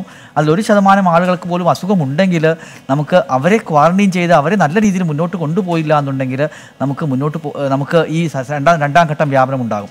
അത് ഒന്നാമത്തെ കാര്യം. പക്ഷേ ഈ രണ്ടാം ഘട്ടം വ്യാപനം നമുക്ക് പിടിച്ചു നിർത്താൻ സാധിച്ചാൽ നമ്മൾ ലോകത്തിന് തന്നെ വലിയൊരു മാതൃകയാകും എന്നുള്ളതിൽ ഒരു സംശയമില്ല. ഇപ്പോൾ ഒരു സുഹൃത്ത് ഇന്നലെ പറയുണ്ടായിരുന്നു ഈ നമ്മൾ സേഫസ്റ്റ് പ്ലേസ് ഓൺ എർത്ത് എന്ന് പറഞ്ഞിട്ട് ഒരു കോവിഡ് ടൂറിസം തന്നെ നമുക്ക് ഉണ്ടാക്കാം പുറത്തുനിന്ന് ആളുകൾ വരട്ടെ ആറുമാസം ഇവിടെ താമസിക്കട്ടെ. ലോകത്തെ ഏറ്റവും ഈ കോവിഡിൽ നിന്ന് സുരക്ഷിതമായ സ്ഥലമെന്ന് പറഞ്ഞ് പ്രൊജക്റ്റ് ചെയ്തുകൊണ്ട് ആളുകളെ യൂറോപ്പിൽ നിന്നും പല സ്ഥലങ്ങളിൽ നിന്നും ആളുകൾ വിളിക്കുന്നുണ്ടെന്ന് പറയുന്നുണ്ട്. അപ്പോൾ അതൊരു വലിയൊരു ഓപ്പർച്യൂണിറ്റിയാണ്. കാരണം ലോകം മൊത്തം ഇന്ന് ഉറ്റുനോക്കുന്ന ഒരു തുരുത്താണ് കേരളം. പക്ഷേ നമ്മുടെ ഒരു ചെറിയ പാകപ്പിഴ പോലും ഒരു വലിയ വില നമ്മൾ കൊടുക്കേണ്ടി വരും. കാരണം ഇന്ന് ചെറിയൊരു കാര്യം പറയുന്നുണ്ടായി കാരണം ഈ റെഡ് സോണിൽ നിന്ന് വന്ന ആളുകൾ വീട്ടിലോട്ട് പോയി പിന്നെ അവരെ ഇൻസ്റ്റിറ്റ്യൂഷണൽ ക്വാറന്റൈൻ കൊണ്ടുവരുന്നു. ഇത് ആദ്യഘട്ടങ്ങളിൽ ചെറിയ പാകപ്പിഴ എവിടെയും ഉണ്ടാകും. പക്ഷേ ഈ പാകപ്പിഴകൾ നമ്മൾ ആവർത്തിക്കാതെ നോക്കണം.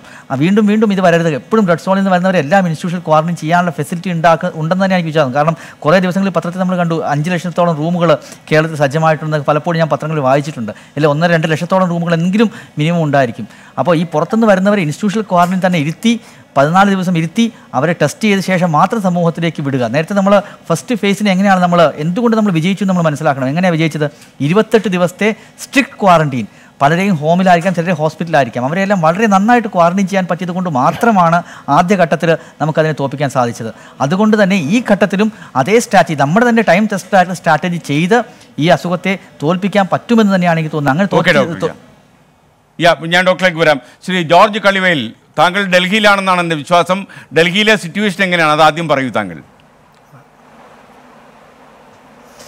ആ, ശ്രീ ശ്രീകണ്ഠനാരെ ഡൽഹിയിലെ വളരെ ഗുരുതരമായ സ്ഥിതിയിൽ തന്നെയാണ് പല മേഖലകളും. പ്രത്യേകിച്ച് ഇതിന്റെ നമ്മുടെ ഈസ്റ്റ് ഡൽഹി കിഴക്കൻ ഡൽഹി പ്രദേശങ്ങൾ വളരെ ഗുരുതരമായ സ്ഥിതിവിശേഷമാണ്. പിന്നെ നമ്മുടെ കേരളം പോലുള്ള ഒരു ഒരു കൃത്യമായൊരു സുരക്ഷ ഇവിടെ ഉണ്ട് എന്ന് പറയാനാവില്ല. കാരണം ഞാൻ ഇന്നലെയും എന്റെ ഒരു സഹപ്രവർത്തകന്റെ ഭാര്യ പിതാവ് മരിച്ചത് പ്രമാണിച്ച് പലയിടത്ത് പോകേണ്ടി വന്നു.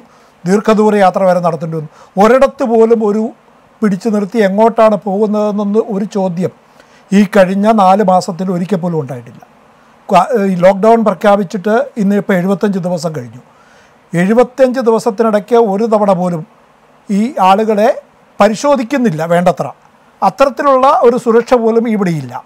ഇവിടെ മലയാളികൾ ഏറ്റവും കൂടെ വന്നുകൊണ്ടിരുന്ന ഐ എൻ എ മാർക്കറ്റ് പോലുള്ള മത്സ്യവും മാംസവും പലചരക്ക് കേരള സാധനങ്ങളുമൊക്കെ കിട്ടുന്ന മാർക്കറ്റിൽ പോലും പലപ്പോഴും അവിടെ പോകാൻ പേടിയാണ് രണ്ട് തവണയേ അവിടെ പോയുള്ളൂ. രണ്ട് തവണയും ഭയപ്പെടുത്തുന്ന സ്ഥിതിയാണ്. കാരണം ആളുകൾ മാസ്കുകൾ പോലുമില്ലാതെ വളരെ വിശാലമായി നൂറുകണക്കിന് ആൾക്കാരെ വരുന്നത് താങ്കൾ ഒരു അവിടുത്തെ ഡൽഹിയിൽ അറിയപ്പെട്ട ഒരു മാധ്യമ പ്രവർത്തകനാണല്ലോ ഒരു പത്രപ്രവർത്തകൻ എന്നുള്ള നിലയിൽ താങ്കൾ നമ്മുടെ അവിടെ നിന്ന് ഡൽഹിയിൽ തന്നെ താമസിക്കുന്ന ഒരുപാട് മലയാളികൾ ചാനലുകളിലേക്കൊക്കെ വിളിച്ച് ചോദിക്കുന്നു എന്താണ് കേരളത്തിലേക്ക് വരാൻ പറ്റുക. അപ്പോൾ അവിടെ കുടുങ്ങിപ്പോയവർ വരാൻ ശ്രമിക്കുന്നതല്ലാതെ അവിടെ സേഫ് അല്ല എന്ന് കരുതി കേരളത്തിലേക്ക് വരാൻ ശ്രമിക്കുന്ന മലയാളി സുഹൃത്തുക്കളുണ്ടോ? ആ ഒരു വിഭാഗമുണ്ട് നമുക്കറിയാം ഈ സെൻട്രൽ ഡൽഹി അല്ലെ മധ്യ ഡൽഹിയും അതായത് കേന്ദ്ര സർക്കാരിന്റെ പ്രധാനങ്ങളെല്ലാം ജീവിക്കുന്ന സെൻട്രൽ ഡൽഹിയും സൗത്ത് ഡൽഹിയും മാത്രം സൗത്ത് ഡൽഹിയുടെ ഒരു പ്രദേശത്ത് പ്രശ്നമുണ്ട്. അവിടെ മാത്രമാണ് കുറേയെങ്കിലും സുരക്ഷിതമായിട്ടുള്ളത്. ഞാനൊക്കെ സൗത്ത് ഡൽഹി ജീവിക്കുകയും സെൻട്രൽ ഡൽഹി ജോലി ചെയ്യുകയും ചെയ്യുന്ന ആളാണ്. പക്ഷേ മറ്റ് പ്രദേശങ്ങളിൽ തീർച്ചയായിട്ടും ഭയപ്പെടുത്തുന്ന അവസ്ഥയുണ്ട്. പലരും പുറത്തിറങ്ങാൻ പോലും അനുവദിക്കുന്നില്ല. ഇവിടെ ദിവസവും നൂറുകണക്കിന് ആളുകളാണ് എന്നോ ഉൾപ്പെടെയുള്ള മാധ്യമപ്രവർത്തകരോട് വിളിക്കുകയും എങ്ങനെയാണ് എന്നാണ് നാട്ടിൽ പോകാൻ കഴിയുക. ഒരു ട്രെയിനെങ്കിലും കിട്ടുമോ വിമാനമെങ്കിലും കിട്ടുമോ നമ്മുടെ നാട്ടിലായിരുന്നു എത്ര ഭേദമായിരുന്നു കാര്യങ്ങൾ എന്ന് ചിന്തിക്കുന്ന ഒരു വലിയ അതൊരു ഭീതിയുടെ ഒരു അറിയാത്ത ഭയപ്പാടിന്റെ. നമുക്കറിയാം ഇവിടെ ഉള്ള അറുപത് എഴുപത് ശതമാനം ആൾക്കാർ സാധാരണ തൊഴിൽ ചെയ്ത് ജീവിക്കുന്നവരാണ്. ചെറിയ കച്ചവടം ചെയ്ത് ജീവിക്കുന്നവരാണ്. അല്ലാതെ പൊതു കേന്ദ്ര സർക്കാരിന്റെ ഉദ്യോഗസ്ഥന്മാരോ മൾട്ടിനാഷണൽ കമ്പനികളിലെ വലിയ പ്രമുഖരോ വലിയ പൊതുമേഖലാ സ്ഥാപനങ്ങളിൽ വലിയ ലക്ഷങ്ങൾ മേടിക്കുന്നവരൊന്നും അല്ല. അവർ അവർ വളരെ പത്ത് ശതമാനം പതിനഞ്ച് ശതമാനം പേരേ ഉള്ളൂ. ബാക്കി മഹാഭൂരിപക്ഷം വളരെ സാധാരണ നിലയിൽ ജോലിയെടുത്ത് കഷ്ടപ്പെട്ട് ജോലിയെടുക്കുന്ന പ്രവാസി അത് ഇവിടെ മാത്രമല്ല ഭോപ്പാലിലായാലും ജയ്പൂരിലായാലും ചണ്ഡീഗഡിലായാലും മദ്രാസിലായാലും കൽക്കട്ടയിലായാലും നമുക്കറിയാം ബോംബെയിലായാലും ഒക്കെ മലയാളികൾ ലക്ഷക്കണക്കിന് മലയാളികൾ വളരെ ദുരിത പർവത്തിലാണ് ജീവിക്കുന്നത്. അവരെ സംരക്ഷിക്കുവാനുള്ള ഒരു ചുമതല കേരള സർക്കാരിനും കേന്ദ്ര സർക്കാരിനുമുണ്ട്. ഇത് എത്രമാത്രം ഫലപ്രദമായി ഇപ്പോഴും അറിയില്ല ആർക്കും. എന്റെ പ്രിയ സുഹൃത്ത് ശ്രീ ശബരിനാഥ് ഇവിടെ ചൂണ്ടിക്കാട്ടി ശ്രീ സമ്പത്ത് കാര്യത്തെക്കുറിച്ച് വിശദമായി പറഞ്ഞെങ്കിലും ഇപ്പോഴും കൃത്യമായ ഒരു ഉറപ്പ് കൊടുക്കുവാൻ സുഹൃത്തായ സമ്പത്തിന് പോലും കഴിയില്ല. എപ്പോൾ എങ്ങനെ എന്ന് മുതൽ ഡൽഹിയിലുള്ള അല്ലെ പ്രവാസികളായിട്ടുള്ള മലയാളികളെ എത്തിക്കാൻ കഴിയും. ഇവിടുത്തെ കേരള ഹൗസ് പോലും കൈമലർത്തുകയാണ് പല കാര്യങ്ങളിലും. അത് ഇത്തരം കാര്യങ്ങൾ നിഷേധിക്കാനാവില്ല പക്ഷേ. ഓക്കെ ഞാൻ ശ്രീ കളി ജോർജ് കളിവേലിലേക്ക് വരാം.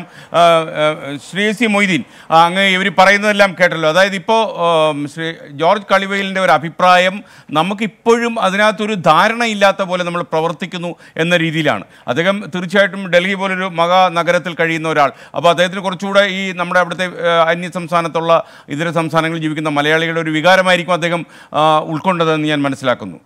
Shri A C Moideen. തീർച്ചയായും.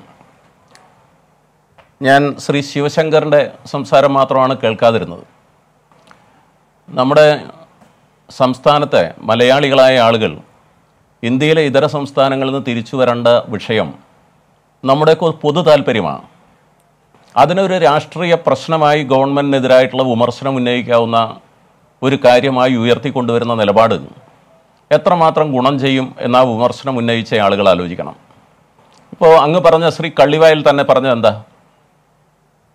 രാജ്യത്തിന് മാതൃകയായിട്ടുള്ള ഇന്ത്യയിലെ മറ്റ് സംസ്ഥാനങ്ങൾ ഇന്ന് അനുഭവിക്കുന്ന പ്രയാസങ്ങളില്ലാത്തൊരു സ്ഥിതിയിലേക്ക് ഈ കേരളം പോയതിന് നേട്ടങ്ങളെക്കുറിച്ചാണ് ആ നേട്ടങ്ങളിൽ എല്ലാവർക്കും പങ്കുണ്ട്. അത് ഗവൺമെന്റ് ഒരു നേട്ടമായി മാത്രം ഗവൺമെന്റ് കണ്ടിട്ടില്ലല്ലോ. നേരത്തെ പറഞ്ഞ പോലെ ഇതൊരു പ്രത്യേക സംവിധാനമാണ്. വുഹാനിലെ ആദ്യത്തെ കേസ് തൃശ്ശൂരായിരുന്നു എനിക്കറിയാം. രാത്രി ഞാനും ടീച്ചറും എല്ലാം കൂടി ചേർന്ന ഉദ്യോഗസ്ഥന്മാരും ഒക്കെ ചേർന്നാണ് അടിയന്തര നടപടികൾ സ്വീകരിച്ചത്. നമുക്ക് മുമ്പ് പരിചയമില്ല ഇങ്ങനെ ഒരു വൈറസിനെ കുറിച്ച്. അപ്പൊ അതിനാവശ്യമായി നമ്മൾ സ്വീകരിച്ച മുൻകരുതലുകളും നമ്മുടെ നിലപാടുകളും നമ്മുടെ തന്ത്രവും ആ കാര്യത്തിൽ സ്വീകരിച്ച തന്ത്രവും ആരോഗ്യരംഗത്ത് ഈ കേരളത്തിന് കോവിഡ് എന്ന മഹാമാരിയെ നേരിടുന്നതിൽ ഇതൊരു മാതൃകയാണ്. കേന്ദ്ര ആഭ്യന്തര സെക്രട്ടറി ഇന്ന് ചീഫ് സെക്രട്ടറിയെ വിളിച്ചു പ്രശംസിച്ചത് ആ കാര്യത്തിലാണ് അത് നമ്മൾ അഭിമാനത്തോടു കൂടി തന്നെ ഓർക്കണം. അത് ഗവൺമെന്റിനെതിരായിട്ടുള്ള വിമർശനം ഉണ്ടെങ്കിൽ ആ വിമർശനം ഉന്നയിക്കരുത് എന്നൊന്നും ഞാൻ പറയില്ല. പക്ഷേ നമ്മുടെ നാട് നേടിയ നേട്ടങ്ങളുണ്ട്. ആ നേട്ടങ്ങൾ എല്ലാവരും കൂടി മലയാളികൾക്കാകെ അവകാശപ്പെട്ടതാണ് ആ രീതിയിലുള്ള പ്രവർത്തനം നമ്മൾ നടത്തിയിട്ടുണ്ട്. മുന്നൊരുക്കങ്ങൾക്ക് മുമ്പൊരു മാതൃകയില്ലാത്ത രീതിയിലുള്ള പ്രവർത്തനം ഉണ്ടായപ്പോൾ പതറാതെ നിന്ന് നമ്മളൊരു സമീപനം സ്വീകരിച്ചു. അതാണ് കേരളത്തിന്റെ ഈ മോഡൽ.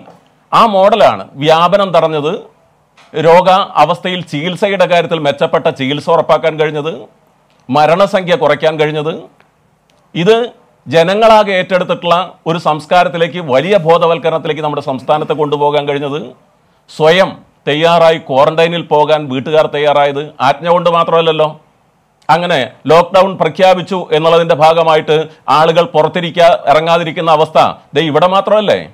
അത് ശക്തിയായി നടപ്പാക്കാനായിട്ടുള്ളൂ. അത് നമ്മുടെ ശ്രമത്തിന്റെ ഭാഗമായിട്ടാണ് ഇപ്പൊ നേരത്തെ ശ്രീ കള്ളിവയൽ തന്നെ പറഞ്ഞു ഒരൊറ്റ സ്ഥലത്ത് തടഞ്ഞില്ല ചോദ്യം ചെയ്തില്ല പോകുന്ന സ്ഥലത്ത്. എന്താ അങ്ങനെ ഒരു സ്ഥിതിവിശേഷം? ഞാൻ അത് ചോദ്യം ചെയ്യാനും മറ്റേതെങ്കിലും ഗവൺമെന്റിനെ കുറ്റപ്പെടുത്താനും വേണ്ടി പറഞ്ഞതല്ല അത്. നമ്മൾ നേടിയ നേട്ടങ്ങളെക്കുറിച്ച് നമുക്ക് മികവ് തോന്നണം. ഏതെങ്കിലും കുറവുകൾ ഉണ്ടായില്ല എന്നൊന്നും ഞങ്ങൾ പറയില്ല.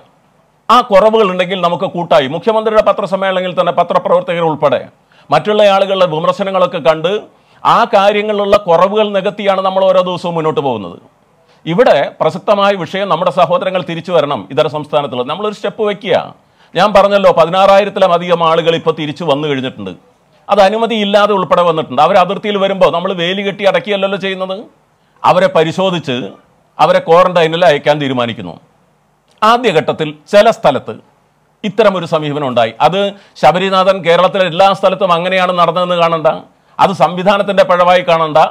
ഒരു സ്ഥലത്ത് അത്തരം ഒരു നിലപാട് ഏതെങ്കിലും സ്ഥലത്ത് വന്നിട്ടുണ്ടെങ്കിൽ അത് നമുക്ക് തിരുത്താൻ കഴിയും. അങ്ങനെ ഈ ആളുകളെ അതിർത്തിയിൽ പരിശോധിച്ച് ക്വാറന്റൈൻ ചെയ്യുക ഈ റെഡ് സോണിൽ നിന്ന് വരുന്ന ആളുകളെ ക്വാറന്റൈൻ ചെയ്യുക എന്നുള്ള സമീപനം തന്നെയാണ് നമ്മൾ സ്വീകരിക്കുന്നത്. ഇനി അവർ തിരിച്ചു വരേണ്ട കാര്യത്തിൽ മുഖ്യമന്ത്രി പ്രതിജ്ഞാബദ്ധമായ നിലപാട് പറഞ്ഞല്ലോ. കൊണ്ടുവരാൻ തന്നെയാണ് തീരുമാനം. ബന്ധപ്പെട്ട കേന്ദ്ര ഗവൺമെന്റുമായി ആ സംസ്ഥാനങ്ങളിലെ മുഖ്യമന്ത്രിമാരുമായി ഉണ്ടാകേണ്ട കോർഡിനേഷന്റെ കാര്യത്തിൽ വളരെ വളരെ വേഗത്തിൽ തന്നെയാണ് ചീഫ് സെക്രട്ടറി തലത്തിലും ഗവൺമെന്റ് തലത്തിലും ചർച്ചകൾ നടക്കുന്നത്. ആ കാര്യത്തിൽ ഏതെങ്കിലും അവധാനത ഇല്ലാതെ നമുക്ക് പെരുമാറാനാവില്ല. നമ്മുടെ രാജ്യം വ്യത്യസ്ത സ്വഭാവത്തിലുള്ളതാണ് ഇവിടുന്ന് തൊഴിലാളികൾ പോയല്ലോ. ഇവിടുന്ന് തൊഴിലാളികൾ പോയത് അവിടുത്തെ ഒരു ഗവൺമെന്റിനെ മാത്രം എടുക്കൊണ്ടാണോ ഞാൻ അതിന്റെ വിശദാംശങ്ങളിലേക്കും ഉള്ളടക്കത്തിലേക്കും പോകുന്നില്ല. ചിലർ ഇപ്പോഴും തൊഴിലാളി അയക്കരുത് എന്ന് പറയുന്ന സംസ്ഥാനങ്ങളുണ്ട്. ഇവിടെ സുരക്ഷിതരാണല്ലോ തൊഴിലാളികൾ. അവർ പറയുമ്പോൾ ഇന്നാണ് നമുക്ക് ട്രെയിൻ വരുന്നതെങ്കിൽ ഈ ഇന്നലെ ഇന്ന് രാവിലെയാണ് വിവരം കിട്ടുന്നത്. ദേ ഇത്ര ആളുകൾക്കുള്ള ട്രെയിൻ ആകുന്നു. രഹസ്യമായിട്ടാണ് റെയിൽവേ ആ കാര്യങ്ങൾ ചെയ്യുന്നത്. കൂടുതൽ സമയമെടുത്ത് പബ്ലിസിറ്റി കൊടുക്കാതെ. എങ്ങനെയാണ് നമ്മൾ വളരെ പെട്ടെന്ന് തന്നെ നമ്മുടെ കയ്യിൽ അതിന്റെ ഒരു കൃത്യമായ വിവരമുണ്ട് കാര്യങ്ങളുടെ ശേഖരമുണ്ട്. ഇത്തരം അതിനിടയിൽ ശ്രീ കെ ശബരിനാഥൻ പറഞ്ഞ ഈ പാസിന്റെ ഒരു ഇഷ്യൂ ഉണ്ടല്ലോ. താങ്കൾ ശ്രദ്ധിച്ചു എന്നാണ് എന്റെ തോന്നൽ. ഒരു പാസ് പറയാം ഞാൻ പറയാം. ഞാൻ അതിലേക്കാ വരുന്നത്. ഒരൊറ്റ മിനിറ്റ് കൂടി. അര മിനിറ്റ് കൂടി മതി. അപ്പൊ ഇത്തരം ഒരു വിവരം ശേഖരണം നമ്മുടെ കയ്യിലുള്ളത് കൊണ്ടാ നമുക്കത് അതിവേഗത്തിൽ ഈ ഗവൺമെന്റിന്റെ കൂടി മികവായിട്ട് അതിനെ കാണണം. നമ്മുടെ സംസ്ഥാനം സ്വീകരിച്ച നടപടികളുടെ മികവായിട്ട് അതിനെ കാണണം. പാസിന്റെ കാര്യത്തിൽ പറഞ്ഞല്ലോ രജിസ്ട്രേഷൻ ഉണ്ടായി. ആ രജിസ്ട്രേഷനുമായി ബന്ധപ്പെട്ട കാര്യത്തിൽ പാസ് കൊടുക്കുന്നതിൽ അനിയന്ത്രിതമായ തിരക്ക് വന്നപ്പോൾ അത് ഇല്ലാതെയാക്കുന്ന സമീപനമല്ല ചെയ്തത്. ഒരു ക്രമീകരണം വരുത്താൻ അല്പം സമയം വേണ്ടി വന്നു. ആ ക്രമീകരണം ആരംഭിച്ചിട്ടുണ്ട്. ഇന്ന് തന്നെ വാളയാറിലെ കണക്കെടുത്ത് നോക്കുക. എത്രായിരം ആളുകളാണ് അവിടെ നിന്ന് വന്നിട്ടുള്ളത്? അവിടുന്ന് സ്വീകരിച്ച നമ്മുടെ ഒരു തകരാറിന്റെ ഭാഗമായി അതിർത്തിയിൽ വല്ല പ്രശ്നം ഉണ്ടായിട്ടില്ല. നമ്മളൊരു കാര്യം കുറവ് കണ്ടു. എന്താ? ഇന്നുള്ള സൗകര്യം പോരാ അവിടുത്തെ കൗണ്ടറുകളിൽ രോഗികളുടെ പരിശോധനയ്ക്ക്. അത് കൂട്ടാൻ തീരുമാനിച്ചു. അത് അനുഭവത്തിന്റെ അടിസ്ഥാനത്തിലാ. എത്ര നമ്മൾ നേരത്തെ പറഞ്ഞത് പാസ് കിട്ടി ഇന്ന സമയത്ത് നിർദ്ദേശം കിട്ടിയതിന്റെ ഭാഗമായിട്ട് നിങ്ങൾ ഇങ്ങോട്ട് വരാവൂ. തിരക്ക് കുറയ്ക്കാൻ അതാണ് സഹായകം. എന്ന് പറയുമ്പോഴും മനുഷ്യന്റെ മനസ്സിൽ അവനവന്റെ വീട്ടിലേക്ക് എത്താനുള്ള ആഗ്രഹം ഉണ്ടാകും. അവരെ കുറ്റം പറഞ്ഞുകൂടാ. അവർ നമ്മുടെ സംസ്ഥാനത്തേക്ക് വേഗം വരണം. ഭീതിജനകമായ അന്തരീക്ഷം ഇന്ത്യയിലെ മറ്റ് സംസ്ഥാനങ്ങളിലുണ്ട്. അതുകൊണ്ട് സുരക്ഷിത തീരത്തേക്ക് ആരോ നേരത്തെ ചർച്ചയിൽ പറഞ്ഞു ഒരു സുരക്ഷിത തീരത്തേക്ക് വരിക. ആ സുരക്ഷിത തീരത്തേക്ക് വരുന്ന ആളുകളെ ആട്ടി അകറ്റുക എന്നുള്ള സമീപനമല്ല നമ്മൾ സ്വീകരിക്കുന്നത്. പാസിന്റെ കാര്യത്തിൽ നമ്മൾ ഒരു ക്രമീകരണം വരുത്താൻ ഇടയ്ക്ക് ഉണ്ടായ പ്രശ്നമൊഴികെ ആ പ്രശ്നങ്ങൾ പരിഹരിക്കാൻ തന്നെയാണ് സംസ്ഥാന ഗവൺമെന്റ് ഇതുവരെയും ഇഷ്യൂ ചെയ്തിട്ടില്ല എന്നാണ് നമ്മുടെ നിയമസഭാംഗം നിയമസഭാ പറഞ്ഞത്. അതങ്ങ് ശ്രദ്ധിച്ചു കാണുന്നു എന്റെ വിശ്വാസം. ശ്രീ കെ എസ് ശബരിനാഥൻ പറഞ്ഞത് അത് ഇതുവരെ ഇഷ്യൂ ചെയ്തിട്ടില്ല. അതിർത്തികളിൽ അതിർത്തികളിൽ വന്ന് ഞാൻ പറയുന്ന അതിർത്തികളിൽ നിന്ന് ഇന്ന് മുഖ്യമന്ത്രി പറഞ്ഞല്ലോ അതിന്റെ പാസിന്റെ കണക്ക് പതിനാറായിരത്തോളം ആളുകൾ പിന്നെ കേരള ഗവൺമെന്റ് അനുമതി ഇല്ലാതെയാണോ വന്നത്? ചെറിയ കുറവുകൾ എവിടെയെങ്കിലും ഉണ്ടാകാം. ഞാനതില്ല എന്ന് പറയില്ല ഒരു ക്രമീകരണം വരുത്തേണ്ടി വന്നു. അധികം ആൾ വരുമ്പോൾ എങ്ങനെയാണ് കേരളത്തിൽ ഇവരെ കൊണ്ടുവരേണ്ടത്? അതിനാവശ്യമായ ഒരു സ്ട്രാറ്റജി നമ്മൾ ഉണ്ടാക്കിയിട്ടുണ്ട്. ക്വാറന്റൈൻ ചെയ്യാൻ ഏതെങ്കിലും മാറി വാനിയോസ് കോളേജ് മാത്രമല്ല. മിനിസ്റ്റർ ഒരു സെക്കൻഡ് ശ്രീ ശബരിനാഥൻ അത് എന്തോ ഒരു ക്ലാരിഫിക്കേഷൻ പറയുന്നുണ്ട്. ശ്രീ ശബരിനാഥൻ പറഞ്ഞോളൂ. നമ്മൾ ബ്രാക്കറ്റ് ഇട്ട് മിനിസ്റ്റർ സംസാരിക്കുന്നതിൽ താങ്കൾക്ക് ഒരു അവസരം അല്ല മിനിസ്റ്റർ പറയുന്നതിന്റെ പറയുന്നതിന്റെ സ്പിരിറ്റ് എല്ലാം ഞാൻ ഉൾക്കൊള്ളുകയാണ്. ഈ പതിനാറായിരം ആളുകൾ നമ്മൾ പാസ് ഇഷ്യൂ ചെയ്തിട്ടുണ്ട്. പക്ഷേ ഇന്നലെയും മിനിയാന്നും ഇന്ന് നമ്മൾ സംസാരിക്കുന്നത് വരെ ഒരു പാസും ഇഷ്യൂ ചെയ്തിട്ടില്ല എന്നുള്ളത് ഒരു വാസ്തവം തന്നെയാണ്. പല ആളുകളും നമ്മളെ ബന്ധപ്പെടുന്നുണ്ട് പറയുന്നവരോടൊക്കെ നാളെ മുതൽ ഇഷ്യൂ ചെയ്യുമെന്നുള്ള ഒരു മെസ്സേജാണ് നമുക്ക് ജില്ലാ ഭരണകൂടത്തിൽ നിന്ന് ലഭിക്കുന്നത്. ഇന്നലെയും ഇന്നുമായിട്ട് ദാ ഇപ്പോൾ ഞാൻ സംസാരിക്കുന്നത് വരെ പുതിയ പാസുകൾ ഇഷ്യൂ ചെയ്തിട്ടില്ല. അതിന്റെ കാരണം ആളുകൾ വന്നാൽ അവരെ ക്വാറന്റൈൻ ചെയ്യാനുള്ള സ്ഥലമില്ല എന്ന് തന്നെയാണ് ഔദ്യോഗികമായിട്ട് നമ്മളെ അറിയിക്കുന്നത്. ഞാൻ താങ്കളിലേക്ക് വരാം. മിനിസ്റ്റർ ഇതാണ് അദ്ദേഹത്തിന്റെ സ്ട്രോങ് ആയിട്ടുള്ള ഒരു അഭിപ്രായം. ഇതിനെക്കുറിച്ച് അങ്ങേക്ക് എന്താണ് ഔദ്യോഗികമായി പറയാനുള്ളത്? അദ്ദേഹം അദ്ദേഹം തെറ്റായ ഒരു നിലപാട് വാദിച്ച് സമർത്ഥിക്കാൻ ശ്രമിക്കുകയാണ് ഞാൻ ഉറപ്പായി പറയുന്നു ഈ വന്ന ആളുകളെയൊക്കെ ക്വാറന്റൈൻ ചെയ്യാനുള്ള സൗകര്യം നമുക്കുണ്ട്. ഞാൻ എന്റെ ഇപ്പോൾ അതിന്റെ കണക്കില്ല. ഞാൻ ശബരിനാഥന് കൊടുക്കാം. കേരളത്തിലെ തദ്ദേശ സ്വയംഭരണ സ്ഥാപനങ്ങൾ മാത്രം ഒരുക്കിയിട്ടുള്ള സന്നാഹങ്ങളെക്കുറിച്ച് വാർഡ് തലത്തിൽ തയ്യാറാക്കിയിട്ടുള്ളത് ക്വാറന്റൈൻ ചെയ്യാനുള്ള കേന്ദ്രങ്ങളെക്കുറിച്ച് ഇവരുടെ ഭക്ഷണ കാര്യത്തിൽ ആരോഗ്യ പരിരക്ഷയുടെ കാര്യത്തിൽ ടെലിമെഡിസിന്റെ കാര്യത്തിൽ അതുപോലെ തന്നെ പ്രൈമറി ഹെൽത്ത് സെന്ററിലെ ഡോക്ടറുമായി നിരന്തരമായി ഉണ്ടാക്കുന്ന കാര്യത്തിലൊക്കെയുള്ള ഒരു സംവിധാനം നമ്മൾ ഉണ്ടാക്കിയിട്ടുണ്ട്. പക്ഷേ ക്രമീകരണത്തിൽ ചെറിയ പോരായ്മ വന്നിട്ടുണ്ട്. അത് തിരുത്തുമെന്ന് മുഖ്യമന്ത്രി ഇന്ന് പറഞ്ഞല്ലോ. പാസ് കൊടുത്ത് നാളെ. അല്ലാണ്ട് ക്വാറന്റൈൻ ചെയ്യാൻ സ്ഥലമില്ലാത്തതിന്റെ ഭാഗമായിട്ടല്ല. റെഡ് സോണിൽ നിന്ന് വന്ന നാൽപ്പത്തയ്യായിരത്തോളം ആളുകളുടെ കണക്കാണ് ഇപ്പോൾ നമ്മുടെ മുമ്പിൽ വന്നിട്ടുള്ളത് ഇന്ന് വരെ. ആ റെഡ് സോണിൽ നിന്ന് വന്ന ആളുകൾ നാൽപ്പത്തയ്യായിരം മാത്രമല്ല അതിനപ്പുറത്ത് ആളുകളുണ്ടെങ്കിലും അത് നമുക്ക് ചെയ്യാൻ കഴിയും. ഇപ്പോൾ വിദേശ രാജ്യങ്ങളിൽ നിന്ന് വരുന്ന ആളുകളെ നമുക്ക് എന്തെങ്കിലും പ്രയാസങ്ങൾ നേരിട്ടോ? വിമാനത്താവളത്തിൽ കൃത്യമായ ക്രമീകരണം വരുന്നു മറ്റു സ്ഥലങ്ങളിൽ വാഹനങ്ങളിൽ അവർ എത്തിക്കേണ്ട സ്ഥലങ്ങളിൽ വരുന്നു. അവിടെയൊക്കെ ഉദ്യോഗസ്ഥ സംവിധാനം പിഴവില്ലാതെ പ്രവർത്തിക്കുക. ഏതെങ്കിലും ഒരു പ്രത്യേക സ്ഥലത്ത് ഒരു കൊച്ചു വീഴ്ച ഉണ്ടായാൽ അതിനെ പർവതീകരിച്ച് കാണിക്കുന്നത്. നമ്മൾ മൊത്തം ഉണ്ടാക്കുന്ന ഒരു സിസ്റ്റത്തെ ഇവരെ സഹായിക്കാൻ ഉണ്ടാക്കുന്ന ഒരു സിസ്റ്റത്തെ ദുർബലപ്പെടുത്തുന്ന രീതിയിലാകരുത്. ഏതെങ്കിലും കുറവുകൾ ഉണ്ടായിട്ടുണ്ടെങ്കിൽ അത് പരിഹരിക്കാം. പാസിന്റെ കാര്യത്തിൽ പരിഹരിക്കാൻ വേണ്ടിയുള്ള നടപടി സർക്കാർ സ്വീകരിച്ചിട്ടുണ്ട്. ഒരു ക്രമീകരണത്തിന് വേണ്ടി ഒരു ദിവസം ഇതുമായി ബന്ധപ്പെട്ട് തടസ്സമുണ്ടായി എന്ന് പറഞ്ഞത് ശരിയാണ്. അത് ഒരു ചോദ്യം കൂടി ശബരിനാഥൻ ഉണ്ടെന്ന് ശ്രീ ശബരിനാഥൻ താങ്കൾ ചോദിച്ചോളൂ. മിനിസ്റ്ററെ ക്ഷമിക്കണം അദ്ദേഹത്തിന് ഒരു ചോദ്യം കൂടി ചോദിക്കാനുള്ളത് ശ്രീ ശബരിനാഥൻ ചോദിച്ചോളൂ. തീർച്ചയായും ചോദിക്കട്ടെ. അല്ല ചോദ്യമല്ല. ബഹുമാനപ്പെട്ട അല്ല ബഹുമാനപ്പെട്ട മിനിസ്റ്ററും ഞാനും പറയുന്നത് ഒരേ കാര്യം തന്നെയാണ്. നമ്മൾ നേരത്തെ ആളുകൾ വന്നു. നമ്മൾ പലയിടത്തും അദ്ദേഹത്തിന്റെ വകുപ്പ് ഉൾപ്പെടുത്തി എന്റെ പഞ്ചായത്തിൽ ഉൾപ്പെടെ സൗകര്യങ്ങൾ ഒരുക്കിയിട്ടുണ്ടെങ്കിലും ഇന്ന് തിരുവനന്തപുരത്ത് നമ്മൾ ക്വാറന്റൈൻ നടത്തുന്നത് മാറിവാനസ് കോളേജിൽ തന്നെയാണ്. അതിന്റെ ബാക്കി കാര്യങ്ങൾ കൂടുതൽ ആക്റ്റീവ് ആകുമ്പോൾ സർക്കാർ പാസ് നാളെ മുതൽ നൽകുമെന്നാണ് പറഞ്ഞത്. മിനിസ്റ്റർ പറഞ്ഞു അത് തന്നെയാണ്. രണ്ടു ദിവസമായി പാസ് കിട്ടുന്നില്ല എന്ന് ഞാൻ പറഞ്ഞ കാര്യങ്ങളെ ശരിയായിട്ട് തന്നെയാണ് അദ്ദേഹം പറയുന്നത്. അപ്പോൾ കാര്യങ്ങൾ നന്നാവാൻ വേണ്ടിയാണ് നമ്മളിത് പറയുന്നത്. നാളെ മുതൽ ബാക്കി പഞ്ചായത്ത് തരത്തിലുള്ള കൂടുതൽ സംവിധാനങ്ങൾ വരികയാണെങ്കിൽ തീർച്ചയായിട്ടും കൂടുതൽ ആളുകൾ നമ്മൾ കൊണ്ടുവരണം. ആ സ്പിരിറ്റ് നമ്മൾ ഉൾക്കൊള്ളുകയാണ്. മിനിസ്റ്റർക്ക് തുടരാം. പഞ്ചായത്ത് തലത്തിലുള്ള ക്രമീകരണങ്ങൾക്ക് പുറമെ ജില്ലാ ഭരണകൂടം തയ്യാറാക്കിയിട്ടുള്ള ക്രമീകരണങ്ങളുണ്ട്. റെഡ് സോണിൽ നിന്ന് വന്ന ആളുകളെയാണ് നമ്മൾ പ്രത്യേകം നിരീക്ഷിച്ച് നേരിട്ട് ക്വാറന്റൈൻ ക്വാറന്റൈനിലേക്ക് അയക്കുന്നത്. മറ്റുള്ള ആളുകളെ പരിശോധനയ്ക്ക് വിധേയമായി ലക്ഷണമുള്ള ആളുകളെ എന്നുള്ള രീതിയിൽ കണ്ടാണ്. മറ്റത് പഞ്ചായത്ത് തലത്തിലുണ്ടാക്കിയിട്ടുള്ള ക്വാറന്റൈൻ സ്ട്രിക് സ്ട്രിക്റ്റായി നേരത്തെ ഉണ്ടായത് നേരത്തെ പറഞ്ഞല്ലോ. നേരത്തെ ഇവിടെ സംസാരിച്ച ഒരാൾ സൂചിപ്പിക്കുന്ന നമ്മുടെ ചർച്ചയിൽ പങ്കെ പങ്കെടുക്കുന്ന ബഹുമാന്യമായ ബഹുമാനായ ദേഹം ഈ കേരളം കാണിച്ച മാതൃകയുണ്ട്. ആ മാതൃക പെട്ടെന്നൊരു ദിവസം കൊണ്ടുണ്ടായതല്ലല്ലോ. നമ്മൾ അതിനെക്കുറിച്ച് പഠിച്ച് പരിശോധിച്ച് എങ്ങനെയാണ് ക്വാറന്റൈൻ വില്ലേജ് തലത്തിൽ വീടുകളിൽ നടപ്പാക്കേണ്ടത് എന്ന് നമ്മുടെ മുമ്പിൽ ഒരു മാതൃകയുണ്ട്. അപ്പം മുഴുവൻ ആളുകളെയും ഏതെങ്കിലും കേന്ദ്രത്തിൽ എന്നുള്ളത് മാത്രമല്ല രോഗലക്ഷണമില്ലാത്ത ആളുകളെ നിർബന്ധമായും വീടുകളിൽ അവർക്ക് സൗകര്യമുള്ള സ്ഥലത്ത് ജനങ്ങളുടെ സമ്പർക്കം ഒഴിവാക്കി ജീവിക്കാൻ കഴിയുന്ന സൗകര്യവും ഇത്തരം ആളുകളെ പ്രത്യേക കേന്ദ്രങ്ങളിലും. അതിനാവശ്യമായ എല്ലാ സംവിധാനവും കേരളത്തിലുണ്ട്. ഒരു കുറവും അതിന്റെ ഭാഗമായിട്ടില്ല. ഇപ്പോഴത്തെ സാഹചര്യത്തിൽ പ്രയാസങ്ങളില്ല എന്നാണ് ഞാൻ സൂചിപ്പിക്കുന്നത്. ഏതെങ്കിലും ക്രമീകരണത്തിൽ കുറവുകൾ ഉണ്ടായാൽ നമുക്ക് അതാത് അവസരങ്ങളിൽ ഇത് പരിശോധിച്ച് തിരുത്താനും കഴിയും. എല്ലാ പ്രേക്ഷകർക്കും വീണ്ടും സ്വാഗതം. കോവിഡ് നയന്റീന്റെ വ്യാപനം മൂലം കേരളത്തിന് വെളിയിലുള്ള മറ്റ് സംസ്ഥാനങ്ങളിൽ പെട്ടുപോയ മലയാളികളെ തിരിച്ചു കൊണ്ടുവരുന്ന സാഹചര്യത്തെക്കുറിച്ച് ചർച്ച ചെയ്യുന്ന ഈ സംവാദം തുടരുകയാണ്. ഞാൻ ഡോക്ടറെ സമ്പത്തിലേക്ക് വരുന്നു. ഡോക്ടർ സമ്പത്ത് താങ്കൾ വളരെ വിപുലമായി സംസാരിച്ചുവെങ്കിൽ പോലും താങ്കൾ കൃത്യമായി മറുപടി പറഞ്ഞില്ല എന്നാണ് ഡോക്ടർ ശബരിനാഥന്റെ വാക്കുകളിൽ നിഴലിച്ചത്. എന്താണ് താങ്കൾക്ക് പറയാനുള്ള മറുപടി? കേരള സർക്കാർ ഇക്കാര്യത്തിൽ കൈക്കൊണ്ടിട്ടുള്ള നടപടികൾ അത് വിശദീകരിക്കണമെങ്കിൽ എനിക്ക് കൂടുതൽ സമയം തരേണ്ടി വരും. അപ്പോൾ എനിക്ക് അത്രയും സമയം നമുക്ക് എടുക്കാൻ പറ്റില്ല ശ്രീ സമ്പത്ത്. മറ്റുള്ളവരൊക്കെ ഉണ്ടല്ലോ. അപ്പൊ നമുക്ക് താങ്കൾക്ക് ഒരു പ്രൊപ്പോഷണൽ ടൈമിംഗ് എടുക്കാം. നീതിപൂർവമായ സമീപനം കൈക്കൊള്ളാനായി കഴിയാതെ പോകും. ഇവിടെ ഇക്കാര്യത്തിൽ മനസ്സിലാക്കേണ്ടത് ഈ ലോക്ക്ഡൗൺ പ്രഖ്യാപിക്കുന്നതിന് മുമ്പ് തന്നെയുള്ള സമയത്ത് ഇത്തരത്തിൽ നാട്ടിലേക്ക് വരുന്നതിന് വേണ്ടിയുള്ള വിദ്യാർത്ഥികൾ ഉൾപ്പെടെയുള്ളവർ ഞാൻ പറയുന്നത് കേൾക്കാൻ കഴിയുമെന്നാണ് എന്റെ വിശ്വാസം. കേൾക്കുന്നു കേൾക്കുന്നു. താങ്കൾ സംസാരിച്ചോളൂ. ഇതിൽ ഈ കേൾക്കാമല്ലോ അല്ലേ? കേൾക്കുന്നു കേൾക്കുന്നു. അങ്ങോട്ട് കേൾക്കുന്നു. ഒന്ന് ഈ എഫ്ലുവിൽ പെട്ടതായിട്ടുള്ള അവിടുത്തെ വിദ്യാർത്ഥികൾ അവിടെ ഷില്ലോങ്ങിലെ വിദ്യാർത്ഥികൾ അവിടെ നിന്ന് നാട്ടിലേക്ക് എത്താൻ കഴിയാതെ അവർ സ്ട്രാൻഡഡായി അവിടെ ആ വിധത്തിൽ അങ്ങനെ വരുന്നവർക്ക് റോഡ് മാർഗം പോലും വരാൻ കഴിയാത്ത നിലയിലേക്ക് എവിടെയാണ് സ്ഥലം എന്നുള്ളതിനെ പറ്റി അറിയാം ഗൗഹട്ടിക്കും അപ്പുറത്താണ് എന്നുള്ളത് കൂടി മനസ്സിലാക്കണം.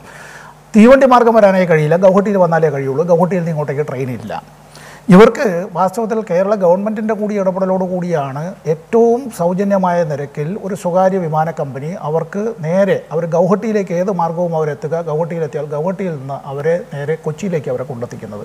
ആ ഒരു എയർഫെയറിൽ ഇന്ത്യയിൽ ആരും ആ വിധത്തിൽ യാത്ര ചെയ്തിട്ടില്ല. ഞാൻ അതിനെപ്പറ്റി മറ്റു കൂടുതൽ കാര്യങ്ങൾ ഇപ്പോൾ അവിടെ പറയുന്നില്ല. രണ്ട് നമ്മുടെ തന്നെ വിവിധ സർവകലാശാല വിദ്യാർത്ഥികളായിട്ടുള്ളവർ ഉത്തരേന്ത്യയിൽ കുടുങ്ങിപ്പോയിട്ടുള്ളവർ അവർക്ക് നാട്ടിലേക്ക് വരുന്നതിന് വേണ്ടിയിട്ടുള്ള സൗകര്യങ്ങളിൽ ഉത്തരേന്ത്യയിൽ അങ്ങനെയുള്ള വിദ്യാർത്ഥികൾക്ക് വേണ്ടി ഇന്ത്യ ഗവൺമെന്റുമായി കൂടി കേരള ഗവൺമെന്റ് അത്തരത്തിൽ നടത്തിയതായ ഇടപെടലിനെ തുടർന്നാണ് റെയിൽവേ വകുപ്പ് മന്ത്രി കാര്യാലയം അഡീഷണലായി കോച്ചുകളടക്കം അനുവദിക്കുകയും പലപ്പോഴും അവർ മറ്റു പല സ്റ്റേഷനുകളിലേക്കും ഉള്ളതായിട്ടുള്ള എമർജൻസി കോട്ടകൾ മുഴുവനും അങ്ങനെ റെയിൽവേ മന്ത്രാലയത്തിന്റെ മന്ത്രി തലത്തിലേക്ക് തന്നെ അത് റീകൂ ചെയ്തുകൊണ്ട് ആ കുട്ടികൾക്ക് പരമാവധി അത്തരത്തിലുള്ള സൗകര്യങ്ങൾ നൽകിയതും.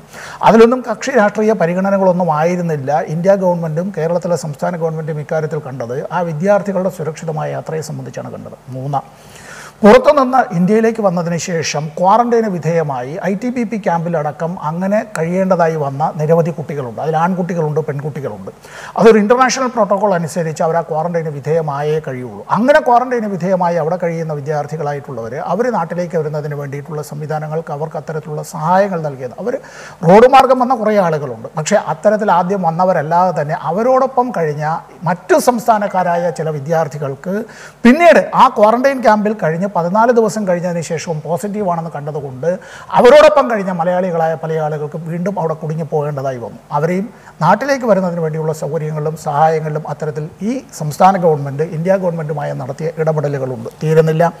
റെയിൽവേ ഇവിടുത്തെ ജീവനക്കാരായിട്ടുള്ളവർ അത്തരത്തിൽ തൊഴിലാളികളായിട്ടുള്ളവർ ഇവിടെ നിന്ന് പോയതിന് ശേഷം തെക്കോട്ട് കേരളത്തിലേക്കുള്ളത് മാത്രം. അതിൽ അവർ പറഞ്ഞ കാര്യം അത് വാസ്തവത്തിൽ അവർ പറഞ്ഞത് അങ്ങനെ ആ സ്വകാര്യ സംഭാഷണത്തിൽ അവരോട് ഉദ്യോഗസ്ഥർ പറഞ്ഞത് ഞാൻ പറയാൻ പാടുണ്ടോ ഇല്ലേ എന്നുള്ളത് മറ്റൊരു കാര്യം. അവർ ചോദിച്ചത് ഓ കേരളത്തിലേക്കാണ് നിങ്ങൾ പോകേണ്ടതല്ലേ? അവിടെ മുഴുവൻ കോവിഡാണ്. കോവിഡിന്റെ നാട്ടിലേക്കാണ് പോകാൻ വേണ്ടി അവർ തീവണ്ടി ചോദിക്കുന്നത്. അങ്ങനെ തീവണ്ടി നൽകാനായി കഴിയില്ല എന്നുള്ള നിലയിലേക്ക്. അവസാനത്തെ ട്രെയിനും പോയി കഴിഞ്ഞതിന് ശേഷം കേരള എക്സ്പ്രസ്സിലും മംഗള എക്സ്പ്രസ്സിലും അതുപോലെ തന്നെ മറ്റു ചില തീവണ്ടികളിലും വന്ന അവരുടെ ഈ പറയുന്ന ആ റണ്ണിങ് സ്റ്റാഫായിട്ടുള്ള ആളുകൾ അവർ സ്ട്രാൻഡഡായി വാസ്തവത്തിൽ തീവണ്ടി പാളത്തിൽ ഇന്ന് ഈ ചർച്ച നടക്കുമ്പോൾ തന്നെ പതിനേഴ് അന്യസംസ്ഥാന ഇതര സംസ്ഥാന തൊഴിലാളികളെന്ന് പറയുന്ന നമ്മൾ ഇവർ അതിഥി തൊഴിലാളികളെന്ന് പറയുന്ന കൂട്ടരായിട്ടുള്ളവർ ഔറംഗബാദിൽ അവർ പതിനേഴ് പേരുടെ പുറത്തുകൂടി തീവണ്ടി ഓടിയതിനെ കുറിച്ച് കൂടി നമ്മൾ ആലോചിക്കണം. അപ്പോൾ ആ അത്തരത്തിലുള്ള സംഭവങ്ങൾ ഉണ്ടാകാതെ അവരെ നാട്ടിലേക്ക് എത്തിക്കുന്നതിന് വേണ്ടിയുള്ള കാര്യങ്ങൾ ചെയ്യുമ്പോഴും ഇത് ഗവൺമെന്റ് തലത്തിലുള്ള ഇടപെടലുകൾ മാത്രമല്ല നിരവധി മലയാളി സംഘടനകൾ ഗവൺമെന്റുമായി സഹായിക്കാനും ഇവർക്ക് സഹായഹസ്തം നൽകാനും ഒക്കെ കഴിഞ്ഞിട്ടുണ്ട്. ഈ ചർച്ചയിൽ പങ്കെടുക്കുന്ന കള്ളിവയലിനടക്കം അറിയാവുന്നതാണ്. ഡൽഹിയിൽ മാത്രമല്ല ഇന്ത്യയിലെ വിവിധ സംസ്ഥാനങ്ങളിലുള്ള വിവിധ മലയാളി സംഘടനകൾ ഇത്തരം കാര്യങ്ങളിൽ അവർ കാട്ടിയിട്ടുള്ള ഒരു താല്പര്യവും ഇക്കാര്യത്തിൽ അവർ നൽകിയിട്ടുള്ള സഹായവുമുണ്ട്. അതൊന്നും മറക്കാൻ കഴിയുന്നതല്ല. ഇവിടെ മറ്റൊരു കാര്യം ഇവിടെ ഈ കേരളത്തിലേക്ക് അവരെ എല്ലാം എത്തിക്കുക എന്നുള്ളൊരു കാര്യത്തിന് ബസ്സിലേക്ക് ആളുകളെ എല്ലാം കൊണ്ടെത്തിക്കാമെന്ന് ബസ്സിൽ വന്ന വഴിയിൽ നമ്മൾ ചർച്ച കണ്ടുകൊണ്ടിരിക്കുന്നവർ താങ്കളോട് ചോദിക്കാൻ താല്പര്യപ്പെടുന്ന ഒരു ചോദ്യം എന്താണെന്നറിയാമോ? അതായത് ഇതര സംസ്ഥാനങ്ങളിൽ പെട്ടുപോയ ആളുകളെ ഇങ്ങോട്ട് എത്തിക്കാൻ നമ്മുടെ സർക്കാരും സർക്കാരിന്റെ ഡൽഹിയിലെ പ്രതിനിധിയുമായ താങ്കളും എന്തൊക്കെ കാര്യങ്ങളാണ് ചെയ്തിട്ടുള്ളത് എന്നറിയാനായിരിക്കും അവർക്ക് താല്പര്യം. എത്തിക്കാൻ കഴിയുന്നതെങ്കിൽ അവരെ അയക്കുന്ന സ്റ്റേറ്റും റിസീവിങ് സ്റ്റേറ്റും ഇന്ത്യൻ റെയിൽവേയും ഇന്ത്യ ഗവൺമെന്റും ഇക്കാര്യത്തിൽ ആ വിധത്തിലുള്ള കോർഡിനേഷൻ വേണം. നാല് ട്രെയിനുകൾ കേരളത്തിൽ നിന്ന് ഇതര സംസ്ഥാന തൊഴിലാളികളുമായി അതിഥി തൊഴിലാളികളുമായി പുറപ്പെടാൻ കഴിയാതെ പോയത് തന്നെ അവരെ ഏറ്റെടുക്കേണ്ടതായ സംസ്ഥാന ഗവൺമെന്റുകൾ ആ സമയത്ത് ചോദ്യം ചോദിക്കാനുണ്ട്? ഒരു സെക്കൻഡ് ഒരു സെക്കൻഡ് ഡോക്ടർ സമ്പത്ത്. ശ്രീ ശബരിനാഥൻ സംസ്ഥാന മുഖ്യമന്ത്രിമാർക്ക് കത്തെഴുതിയതും അവരുമായി ടെലിഫോൺ ഞാൻ പറയുന്നത് താങ്കൾക്ക് കേൾക്കാമോ? മലയാളികൾക്ക് അവിടെ നിന്ന് നോൺ സ്റ്റോപ്പ് ട്രെയിനുകളിൽ ഇങ്ങോട്ടേക്ക് വരുന്നതിന് വേണ്ടിയുള്ള സൗകര്യങ്ങൾ ഏർപ്പെടുത്തുന്നതിന് വേണ്ടിയിട്ടാണ്. അവരെ റെയിൽവേ സ്റ്റേഷനിൽ ആ സംസ്ഥാന ഗവൺമെന്റുകൾ അത്തരത്തിൽ സുരക്ഷിതമായി എത്തിക്കുകയും അവർക്ക് ആവശ്യമായ ഞാൻ പറയുന്നത് താങ്കൾക്ക് കേൾക്കാമോ? അവരെ നാട്ടിലേക്ക് എത്തിക്കുക എന്നുള്ളതാണ് ഇവിടെ വേണ്ടത്. ഇതൊരു ക്ഷിപ്രസാധ്യമായ കാര്യമല്ല. ഞാൻ നേരത്തെ പറഞ്ഞൊരു കാര്യമുണ്ട്. നമുക്ക് മുന്നിൽ മാതൃകകൾ ഇല്ല. നേരത്തെ ഏതെങ്കിലും ഒരു സംസ്ഥാനം എന്ന് പറഞ്ഞ് നമുക്ക് വെറുതെ ഇരിക്കാൻ പറ്റുമോ ഡോക്ടർ സമ്പത്ത് അവിടെ നടത്തിയിട്ടുള്ളതാണ്. ആ ഒരു മാതൃക നമുക്ക് അവലംബിക്കാനായി കഴിയില്ല. ഇവിടെ ഓരോ ദിവസവും ഇന്ത്യയിൽ പല ഭാഗങ്ങളിലും ഉണ്ടാകുന്ന ആ സംഭവങ്ങളിൽ നമ്മൾ ഇക്കാര്യത്തിൽ നമ്മുടെ വ്യാകുലരാണ് എന്നുള്ളത് ശരിയാണ്. നമ്മുടെ നാട്ടിലേക്ക് അവരെ കൊണ്ടെത്തിക്കുമ്പോൾ അവരുടെ സുരക്ഷിതത്വവും നാടിന്റെ സുരക്ഷിതത്വവും എനിക്ക് തോന്നുന്നു സാങ്കേതികമായി നമ്മൾ പറയുന്നത് അദ്ദേഹത്തിന് കേൾക്കാൻ കഴിയുന്നില്ല എന്നാണ് എനിക്ക് തോന്നുന്നത്. ഞാൻ ഡോക്ടർ സമ്പത്തിലേക്ക് മടങ്ങി വരാം. ഞാൻ ശ്രീ കെ ശബരിനാഥനിലേക്ക് പോകുന്നു. ശ്രീ ശബരിനാഥൻ എന്തോ സാങ്കേതിക പ്രശ്നമാണെന്ന് തോന്നുന്നു. അദ്ദേഹത്തിന് കേൾക്കാൻ കഴിയുന്നില്ല. ഇങ്ങോട്ട് കേൾക്കുന്നുണ്ട് അങ്ങോട്ട് കേൾക്കുന്നില്ല. അത് ആ പ്രശ്നം ഇപ്പോൾ പരിഹരിക്കപ്പെടും. താങ്കൾ പറഞ്ഞോളൂ പറയാൻ വന്ന കാര്യം പറഞ്ഞോളൂ. ആ അതായത് ഞാൻ ശ്രീ ശബരിനാഥൻ താങ്കൾ സംസാരിച്ച് തുടങ്ങുമ്പോൾ ഒരു കാര്യം കൂടെ താങ്കൾ വ്യക്തമാക്കിയാൽ നന്നായിരുന്നു. അതായത് ഗവൺമെന്റ് ഒരുപാട് നല്ല കാര്യങ്ങൾ ഇതിൽ ചെയ്തിട്ടുണ്ട്. അപ്പോൾ ഇക്കാര്യങ്ങളിൽ നിങ്ങൾ രാഷ്ട്രീയം കളിക്കുന്നു എന്നൊരു ധാരണ പരക്കാൻ നിങ്ങളുടെ പ്രവർത്തനങ്ങൾ കാരണമാകുന്നുണ്ടോ? ഒരിക്കലുമില്ല ശ്രീ ശ്രീകണ്ഠൻ നായർ. ഗവൺമെന്റ് ചെയ്ത കാര്യങ്ങൾ നമ്മളെല്ലാവരും സഹായിക്കുന്നുണ്ട്. എല്ലാ തരത്തിലും ജനപ്രതിനിധികളും പാർട്ടിയും ഒക്കെ സഹായിക്കുന്നുണ്ട്. പക്ഷെ ഇവിടെ ഡോക്ടർ സമ്പത്ത് ചെയ്ത കാര്യങ്ങൾ എന്ന് പറഞ്ഞ് എണ്ണിപ്പറഞ്ഞ ഓരോ കാര്യങ്ങളും ഷില്ലോങ്ങിലുള്ള ഇഫ്ലുവിലെ വിദ്യാർത്ഥികളെ കൊണ്ടുവന്നത് കേന്ദ്രത്തിലെ യൂണിവേഴ്സിറ്റിയിലെ കുട്ടികളെ കൊണ്ടുവന്നത് റെയിൽവേ സ്റ്റേഷനിൽ പോയ ആളുകളെ കൊണ്ടുവന്നതൊക്കെ നിർഭാഗ്യവശാൽ മാർച്ച് മാസം അവസാനത്തെ കാര്യങ്ങളാണ് പറഞ്ഞത്. ഇരിക്കുന്നത് മെയ് ഒമ്പതാം തീയതി മെയ് എട്ടാം തീയതിയാണ് ഇരിക്കുന്നത്. ഈ പറഞ്ഞ കാര്യങ്ങളൊക്കെ ലോക്ക്ഡൗൺ പ്രഖ്യാപിച്ച മാർച്ച് ഇരുപത്തിനാല് കഴിഞ്ഞ് രണ്ടോ മൂന്നോ അല്ലെങ്കിൽ ഒരാഴ്ചക്കുള്ളിലെ കാര്യമാണ്. ഏപ്രിൽ മാസവും മെയ് മാസവും ഒമ്പതാം തീയതി. വളരെ സിമ്പിളായിട്ട് സന്ദേശ സിനിമയിൽ ശ്രീ ബോബി കൊട്ടാരക്കര ചോദിക്കുന്നത് പോലെ മെയ് മാസവും അല്ല ഏപ്രിൽ മാസത്തെ ഈ മുപ്പത് ദിവസവും മെയ് മാസം പത്ത് ദിവസവും കേന്ദ്രത്തിൽ എന്തിടപെടലാണ് കേരള സർക്കാർ ചെയ്തത്. അദ്ദേഹം പറഞ്ഞ കാര്യങ്ങൾ ചെയ്യാൻ എനിക്ക് വളരെ അടുപ്പമുള്ള കുടുംബമായിട്ടൊക്കെ ബന്ധമുള്ള ഡൽഹിയിലെ സീനിയർ ആയിട്ടുള്ള പത്രപ്രവർത്തകനായിട്ടുള്ള ശ്രീ ജോർജ് കള്ളിവേലിൽ ഡൽഹിയിലിരുന്ന് ചെയ്യാൻ പറ്റുന്ന കാര്യങ്ങളാണ് ഈ പറഞ്ഞതൊക്കെ. ഈ ഏപ്രിൽ മാസവും മെയ് പത്താം തീയതിയും അനേകായിരം അധ്യാർത്ഥികൾ കുട്ടികൾ വിളിക്കുമ്പോൾ അവർക്ക് സ്വന്തം ചെലവാണ് വന്ന ആളുകളൊക്കെ വരുന്നത്. അവർക്ക് വേണ്ടി സർക്കാർ എന്ത് കേന്ദ്രത്തിൽ ഇടപെട്ട് നടത്തി ഡൽഹിയിലുള്ള പ്രത്യേക പ്രതിനിധിയും ആ ഒരു സംവിധാനവും കേരള ഹൗസ് അടച്ചിട്ടിരിക്കുകയാണ്. എനിക്ക് ഓർമ്മയുണ്ട് മാർച്ച് അവസാനമാണെന്ന് തോന്നുന്നു ഞാൻ ഈ പറഞ്ഞ ഇതേ കേരള റെയിൽവേ ജീവനക്കാർ എന്റെ മണ്ഡലത്തിലെ ആൾക്കാരുണ്ടായിരുന്നു പറണ്ടോട് മീനാങ്കരോട്. അവർക്ക് വേണ്ടി വിളിച്ചവരെ കേരള ഹൗസിൽ കൊടുക്കണമെന്ന് പറഞ്ഞപ്പോൾ കേരള ഹൗസ് അടച്ചിട്ടിരിക്കുകയാണ്. ശ്രീ കള്ളുവേലിനോട് ചോദിക്കാം കഴിഞ്ഞ ഒന്നര മാസമായിട്ട് കേരള ഹൗസ് അടച്ചിട്ടിരിക്കുകയാണ്. അപ്പോൾ കേന്ദ്രവുമായിട്ട് അവിടുത്തെ ആളുകൾക്കും ഇതര സംസ്ഥാനങ്ങളിലുള്ള മലയാളി ആളുകൾക്കും വിദ്യാർത്ഥികൾക്കുമുള്ള ഒരു ലിങ്കായി നിൽക്കേണ്ട കേന്ദ്രത്തിന്റെ കേരളത്തിന്റെ റെസിഡന്റ് കമ്മീഷണറും കേന്ദ്രത്തിന്റെ റെപ്രസെന്റേറ്റീവും സർക്കാരിന്റെ സംവിധാനവും ശിഥിലമായിരിക്കുന്നതിന്റെ ഏറ്റവും വലിയ ഉദാഹരണമാണ് അദ്ദേഹം പറഞ്ഞ കാര്യങ്ങളെല്ലാം ശബരിനാഥൻ ഞാൻ അദ്ദേഹത്തിൽ ഒന്നുകൂടെ ഒന്ന് പോകട്ടെ. സാങ്കേതികമായി അദ്ദേഹത്തിന് പിഴ ഉണ്ടായിരുന്നല്ലോ ശ്രീ ഡോക്ടർ സമ്പത്ത് താങ്കൾക്ക് ശ്രീ ശബരിനാഥൻ പറഞ്ഞത് കേൾക്കാൻ കഴിഞ്ഞോ? എന്റെ ചോദ്യം. അദ്ദേഹത്തിന് കേൾക്കാൻ കഴിയുന്നില്ല. ശ്രീ ശബരിനാഥൻ തുടരൂ.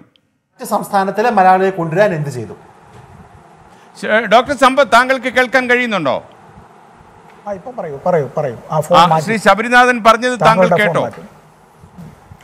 എന്താണ്? അല്ല ആ പറഞ്ഞ എന്താണെന്നൊന്ന് പറയൂ അതായത് ഈ കഴിഞ്ഞ ഒരു ഏപ്രിൽ മാസം താങ്കൾ പറഞ്ഞ കാര്യങ്ങളൊക്കെ തന്നെ മാർച്ചിൽ സംഭവിച്ച കാര്യങ്ങളാണ്. ഏപ്രിലും ഇന്നിപ്പോൾ മെയ് എട്ടാണ്. ഈ ഇത്രയും ദിവസങ്ങൾക്കകത്ത് എന്ത് ഇടപെടലാണ് കേന്ദ്ര സർക്കാർ തലത്തിലും മറ്റുള്ള സംസ്ഥാന സർക്കാർ തലത്തിലും നിങ്ങൾ ഈ മറ്റ് ഇതര സംസ്ഥാനങ്ങളിൽ പെട്ടുപോയ ആൾക്കാരെ കേരളത്തിലേക്ക് കൊണ്ടുവരാൻ നടത്തിയിട്ടുള്ളത്? പ്രത്യേകിച്ചും ഡോക്ടർ സമ്പത്തിന്റെ ഭാഗത്തുനിന്ന് അങ്ങനെ എന്തെങ്കിലും കാര്യങ്ങൾ ഉണ്ടായിട്ടുണ്ടോ എന്നാണ് വ്യക്തമായി ശ്രീ കെ ശബരിനാഥൻ ചോദിക്കുന്നത്. എന്നെ കേരള സർക്കാർ വ്യക്തമായി ഏൽപ്പിച്ചിട്ടുള്ള ചുമതലകൾ ഞാൻ നിർവഹിച്ചിട്ടുണ്ട്. അതിനപ്പുറമായി നിർവഹിക്കുന്നത് അതിപ്പോൾ ഈ അദ്ദേഹം ഒരു ജനപ്രതിനിധി എന്നുള്ള നിലയിലോ മറ്റുള്ളവരെല്ലാം ചെയ്യുന്നത് പോലെയുള്ള മാനുഷികമായിട്ടുള്ള പരിഗണനകളും അതിനപ്പുറമായിട്ട് നമുക്ക് ചെയ്യാവുന്നതായിട്ടുള്ള എല്ലാ സഹായങ്ങളും വ്യക്തിപരമായ ബന്ധങ്ങൾ ഉപയോഗിച്ച് ചെയ്യുക എന്നുള്ളത്. അതിൽ രാഷ്ട്രീയമായിട്ടുള്ള അഭിപ്രായ വ്യത്യാസമൊന്നുമില്ല. അതിലിപ്പോൾ ശബരിനാഥിന്റെ പാർട്ടി ആയിരുന്നാലും അതല്ല ശിവശങ്കറിന്റെ പാർട്ടി ആയിരുന്നാലും മറ്റേതെങ്കിലും രാഷ്ട്രീയ പാർട്ടികളിൽപ്പെട്ടവരായിരുന്നാലും അതല്ല മാധ്യമ പ്രവർത്തകരും മറ്റുള്ളവരുമായിരുന്നാലും അവരുമായിട്ടുള്ള എല്ലാ ചങ്ങാത്തവും നമ്മളെ ഇവരുടേതായിട്ടുള്ള അവരുടെ ആശ്വാസത്തിനും രക്ഷയ്ക്കുമായി നമ്മൾ ഉപയോഗിക്കും. ഇവിടെ ഇദ്ദേഹം ഇത്തരം കാര്യങ്ങൾ പറയുമ്പോൾ വളരെ മനോഹരമായി കുറേ പച്ചക്കള്ളവും അർദ്ധസത്യവും വിളിച്ചു പറഞ്ഞാൽ അതെല്ലാം ഇങ്ങനെ തന്നെ നമ്മുടെ സമയത്തിനിടയിൽ ഞാൻ മറുപടി പറയാതെ പോകുന്നത് ശരിയല്ല. ഈ നവോദയ വിദ്യാലയങ്ങളിൽ അകപ്പെട്ടു പോയ ചില കുട്ടികൾ ഈ അടുത്തിടയ്ക്ക് ഏതാനും മണിക്കൂറുകളൊക്കെ ആയിട്ടല്ലേ ഉള്ളൂ ഒരു കേരളത്തിലേക്ക് വന്നിട്ട് അതെന്തേ പറയാതെ പോയത് അത്തരം ഒരു കാര്യത്തെക്കുറിച്ച്? ഞാൻ ഈ നേരത്തെ പറഞ്ഞതിന്റെ ബാക്കി ഞാൻ പറഞ്ഞില്ല എന്നല്ലേ ഉള്ളൂ. അങ്ങനെ ഈ ക്വാറന്റൈനിൽ വീണ്ടും ഇരുപത്തി എട്ട് ദിവസം കഴിഞ്ഞിട്ട് എന്നിട്ടും വീണ്ടും പതിനാല് ദിവസത്തിനപ്പുറമായി കഴിയേണ്ടി വന്നവർ ആ വിധത്തിൽ അവർ നാട്ടിലേക്ക് ബൈറോഡ് വന്നതിനെ സംബന്ധിച്ച് എന്താ ഇത്തരം കാര്യങ്ങളെ സംബന്ധിച്ചൊന്നും പറയാൻ വിട്ടുപോയി? അവിടെ അകപ്പെട്ടു പോയ ഇത്തരം ആളുകളെ കുറിച്ച് മാത്രമല്ലല്ലോ. പലയിടങ്ങളിലും പോയി ബന്ധുമിത്രാദികളുടെ അടുത്തേക്ക് പോയത് മാത്രമല്ല. മറ്റു പല കാരണങ്ങളാൽ പലയിടങ്ങളിലും സ്റ്റാൻഡേർഡായി പോയ മലയാളികളുണ്ട്.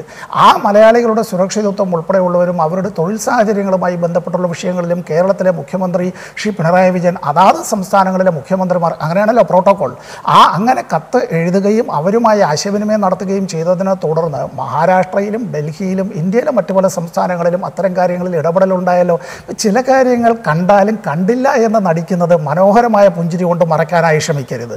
കേരളത്തിലെ ഗവൺമെന്റ് ചെയ്തിട്ടുള്ള കാര്യങ്ങൾ ഇന്ത്യയിലെ യൂണിയൻ ഗവൺമെന്റ് അടക്കം അഭിനന്ദിച്ചിട്ടുള്ള കാര്യങ്ങളാണ്. അത് ആഭ്യന്തര വകുപ്പ് മന്ത്രാലയത്തിന്റെയോ ആരോഗ്യ വകുപ്പ് മന്ത്രി കാര്യാലയത്തിന്റെയോ ഇന്ന് സിവിൽ ഏവിയേഷൻ വകുപ്പ് മന്ത്രി കാര്യാലയത്തിന്റെയോ മാത്രമല്ല.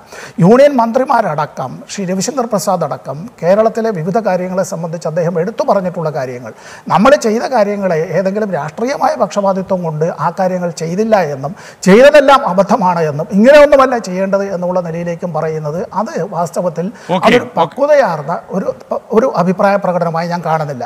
നമുക്കിനിയും ചെയ്യാനുണ്ട് എന്നുള്ളത് ശരിയാണ്. ഒരു കാര്യം ഇന്ത്യയിലെ ഇരുപത്തിയെട്ട് സംസ്ഥാനങ്ങൾ ഇപ്പോൾ അത്രയേ ഉള്ളൂ. അതിൽ ഏറ്റവും തെക്കേ അറ്റത്തുള്ള സംസ്ഥാനമാണ് കേരളം എന്നുള്ളത് കൂടി മനസ്സിലാക്കണം. നമുക്ക് റോഡ് മാർഗം മൂന്ന് പകലും നാല് രാത്രിയുമെല്ലാം സഞ്ചരിച്ച് സുരക്ഷിതമായി ഉത്തരേന്ത്യയിൽ നിന്ന് ആളുകൾക്ക് അങ്ങനെ വരാൻ കഴിയുന്നതല്ല. തീവണ്ടി മാർഗം മാത്രമാണ് അത്തരത്തിൽ കൊണ്ടുവരാനായി കഴിയുന്നത്. അങ്ങനെ റെയിൽവേ സർവീസ് അത്തരത്തിൽ നമുക്ക് പ്രത്യേകിച്ച് ലഭ്യമാക്കുക തന്നെ വേണം. ഇവിടെ മുഖ്യമന്ത്രി ഇതിനായി വിവിധ ഞാൻ നേരത്തെ പറഞ്ഞത് ആവർത്തിക്കുകയാണ്. ബന്ധപ്പെട്ട മുഖ്യമന്ത്രിമാരുമായും ഇന്ത്യ ഗവൺമെന്റുമായും കത്തെഴുതുകയും ആശയവിനിമയം നടത്തുകയും. ചെയ്തത് തന്നെയാണ്. അങ്ങനെ മാത്രമാണ് നമുക്ക് അവരെ കൊണ്ടുവരാനായി കഴിയുന്നത് ശ്രീ ശബരിനാഥൻ നമുക്കിനി സമയത്തിന്റെ പ്രശ്നം ഉണ്ടാകും. ശ്രീ ശബരിനാഥൻ സംക്ഷിപ്തമായി താങ്കൾക്ക് പറയാനുള്ളത് പറഞ്ഞോളൂ. ചുരുക്കി. ഇല്ല അദ്ദേഹം പറഞ്ഞ മറുപടിയിൽ ഞാനൊരു വ്യക്തമായിട്ട് അദ്ദേഹം ഈ കഴിഞ്ഞ നമ്മുടെ സർക്കാരുമായി കേന്ദ്ര സർക്കാരുമായി ബന്ധപ്പെട്ട് ചെയ്ത ഒരു കാര്യമായി പറഞ്ഞത് നവോദയയിലെ വിദ്യാർത്ഥികളുടെ കാര്യം മാത്രമാണ്. അത് ഞാൻ മുഖവിലക്കെടുക്കുന്നു പക്ഷെ അല്ലാതെ എത്രയോ ആളുകൾ നാല് ലക്ഷം ആളുകൾ ബഹുമാനപ്പെട്ട ശ്രീ സമ്പത്ത് പറഞ്ഞു ഇവിടെ ബോംബെയിലും ഡൽഹിയിലുള്ള ആളുകൾ ഡൽഹിയിലുള്ള ആളുകൾ എനിക്കറിയാം. അവിടെ പണിക്കേഴ്സ് ട്രാവൽസിന്റെ ബസ് എടുത്ത് വരുന്ന ആൾക്കാരുണ്ട്. ശ്രീ കള്ളിവേലനോട് ചോദിച്ചു നോക്കൂ.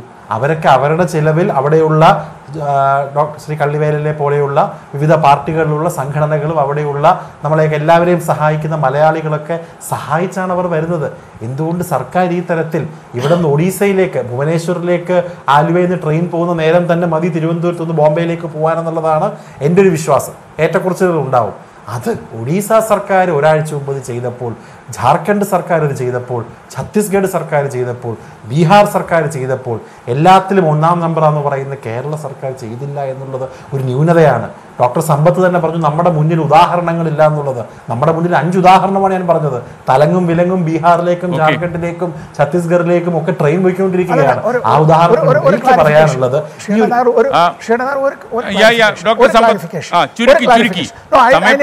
ഇത്രയേ ഉള്ളൂ ഇത്രേ ഉള്ളൂ ഇത്രേ ഉള്ളൂ. ഇദ്ദേഹം പറഞ്ഞ ഈ സംസ്ഥാന ഗവൺമെന്റുകൾ ഇങ്ങോട്ട് ട്രെയിനിന് വേണ്ടി ആവശ്യപ്പെട്ടിട്ടല്ല ഈ ട്രെയിൻ സർവീസുകൾ ഇന്ത്യ ഗവൺമെന്റുമായി ഇത്തരത്തിൽ ആശയവിനിമയം നടത്തുമ്പോൾ കേരളത്തിന്റെ മുഖ്യമന്ത്രിയാണ് പറഞ്ഞത് വാസ്തവത്തിൽ തീവണ്ടി സർവീസിലാണ് ഇത്തരത്തിൽ ആളുകൾ അയക്കേണ്ടത് അതല്ലാതെയുള്ള റോഡ് മാർഗം സുരക്ഷിതമല്ല ഇന്ത്യ ഗവൺമെന്റ് യൂണിയൻ ഗവൺമെന്റ് ഇങ്ങോട്ട് വെച്ചത് അത് റോഡ് മാർഗം അയക്കുക എന്നുള്ളതായിരുന്നു നമ്മളാണ് ഇവരെ അയക്കുന്നതിന് വേണ്ടി ട്രെയിൻ സർവീസിന് വേണ്ടി ആദ്യം ആവശ്യപ്പെട്ട സംസ്ഥാനം അത് ഇന്ത്യ ഗവൺമെന്റ് അംഗീകരിച്ചത്. കൊണ്ടാണ് ഇത്തരത്തിൽ പോകാനായിട്ട് ഞാൻ നേരത്തെ പറഞ്ഞല്ലോ നാല് ട്രെയിനുകൾ. നമ്മുടെ ആരും ട്രെയിൻ. കഴിയാതായതിന്റെ കാര്യം ആ സംസ്ഥാന ഗവൺമെന്റുകൾ അവരെ റിസീവ് ചെയ്യാൻ അപ്പോൾ തയ്യാറല്ലാത്തത് കൊണ്ടാണ് ഇവിടെ നിന്ന് നാല് തീവണ്ടികൾ അങ്ങനെ പോകാനായി കഴിയാതെ വന്നത്. ഓക്കെ ഡോക്ടർ സമ്പത്ത് ഇനി ഇനി ശ്രീ ശബരിനാഥൻ പറയട്ടെ. ഒറ്റ ചോദ്യം കൊണ്ട് തീരുന്നു. ആ. പറഞ്ഞോളൂ പറഞ്ഞോളൂ ശ്രീ ശബരിനാഥ് നമ്മളാണ് ട്രെയിൻ നമ്മൾ നമ്മളാണ് ട്രെയിൻ ആവശ്യപ്പെട്ടതെന്ന് ഡോക്ടർ സമ്പത്ത് പറഞ്ഞു. ഞാൻ രണ്ട് ചോദ്യങ്ങൾ ചോദിക്കാം. എത്ര ട്രെയിനുകൾ കേരളത്തിലേക്ക് ഇങ്ങോട്ട് വന്നു? പൂജ്യം. എത്ര മലയാളികൾ ട്രെയിനിലേക്ക് ഇതുവരെ വന്നു? മറ്റ് സംസ്ഥാനങ്ങളിൽ നിന്ന് പൂജ്യം. ഇത്രയേ ഉള്ളൂ കണക്ക്. ചുരുക്കി മറുപടി പറഞ്ഞാൽ ഞാൻ പി ആർ ശിവശങ്കറിലേക്ക് പോകണം. അതിന്റെ വിഷമമാണ് ഞാൻ പറയുന്നത് വീഴുന്നത് എന്ന് ആരെങ്കിലും നടിച്ചാൽ എനിക്ക് എന്ത് ചെയ്യാൻ പറ്റും? ഈ ചർച്ചയുടെ കഴിഞ്ഞ റൗണ്ടിൽ ഞാൻ പറഞ്ഞു അയക്കേണ്ടുന്ന സംസ്ഥാനങ്ങൾ അവരെ അയക്കുന്നതിന് അവർ വില്ലിങ്നെസ് അവർ പുറപ്പെടും അവരത് അറിയിക്കണം. ഇന്ത്യ ഗവൺമെന്റിനെ നമ്മളെ അറിയിക്കും നമ്മൾ അവരെ സ്വീകരിക്കാൻ തയ്യാറാണെന്ന് പലവട്ടം പറയുകയും എഴുതുകയും അറിയിക്കുകയും ചെയ്യുമ്പോഴും അവരങ്ങനെ അയക്കണമല്ലോ. അവരവിടെ റെയിൽവേ സ്റ്റേഷനിലേക്ക് എത്തിച്ച് അവർ ആ തീവണ്ടികളിൽ അവർ തിരിച്ചയക്കാൻ ആ സ്റ്റേറ്റ് ഗവൺമെന്റുകൾ തയ്യാറാവണമല്ലോ. ആ സ്റ്റേറ്റ് ഗവൺമെന്റുകൾ ഇപ്പോഴും തയ്യാറായിട്ടില്ലല്ലോ. ഇത് മാത്രമല്ല പഞ്ചാബ് ഗവൺമെന്റിനോട് രാജസ്ഥാൻ ഗവൺമെന്റിനോട് മഹാരാഷ്ട്ര ഗവൺമെന്റിനോട് പശ്ചിമ ബംഗാളിലെ ഗവൺമെന്റിനോട് ഡൽഹി ഗവൺമെന്റിനോട് വീണ്ടും കേരളത്തിലെ മുഖ്യമന്ത്രി കത്തെഴുതിയിട്ടുണ്ട്. എന്ന് മാത്രമല്ല ഇതിൽ ചില മുഖ്യമന്ത്രിമാരും അദ്ദേഹം ആശയവിനിമയം നടത്തുകയും ചെയ്തിട്ടുണ്ട്. ആ സംസ്ഥാന. ഗവൺമെന്റുകൾ ഇതിനെ സമ്മതിച്ചാൽ കൂടിയല്ലേ അവർക്ക് വരാൻ കഴിയുള്ളൂ? ശ്രീ പി ആർ ശിവശങ്കറിനോട് അതേ വലിയ കേന്ദ്ര സർക്കാരിന്റെ ആൾ. ശ്രീ ശിവശങ്കർ താങ്കൾക്ക് ഈ കാര്യത്തിൽ എന്താണ് പറയാനുള്ളത്? കാരണം നമുക്കിപ്പോൾ എങ്ങനെയായാലും പൂച്ച എലിയെ പിടിച്ചാൽ മതി. നമ്മുടെ സംസ്ഥാനത്തിന് പുറത്ത് കേരളത്തിന് പുറത്ത് ഒരുപാട് ദുരിതപൂർണമായ ജീവിതം നയിക്കുന്ന മലയാളി സഹോദരങ്ങൾക്ക് എത്രയും പെട്ടെന്ന് എല്ലാ എല്ലാ നമ്മുടെ കോവിഡ് നയന്റീന്റെ പ്രതിരോധ നിബന്ധനകളും പാലിച്ചുകൊണ്ട് തന്നെ കേരളത്തിൽ വന്നു ചേരാൻ കഴിയണം. ആ ഒരൊറ്റ ലക്ഷ്യത്തിലാണ് നമ്മൾ ഫോക്കസ് ചെയ്യുന്നത്. Shri P R Sivasankar. തീർച്ചയായിട്ടും ഞാൻ എസ് കെ പറഞ്ഞ ആ കാര്യത്തിൽ പൂർണമായിട്ട് യോജിക്കുന്നു. ഇത് പൂച്ച എലിയെ പിടിക്കുമോ എന്നുള്ളതാണ് പ്രശ്നം.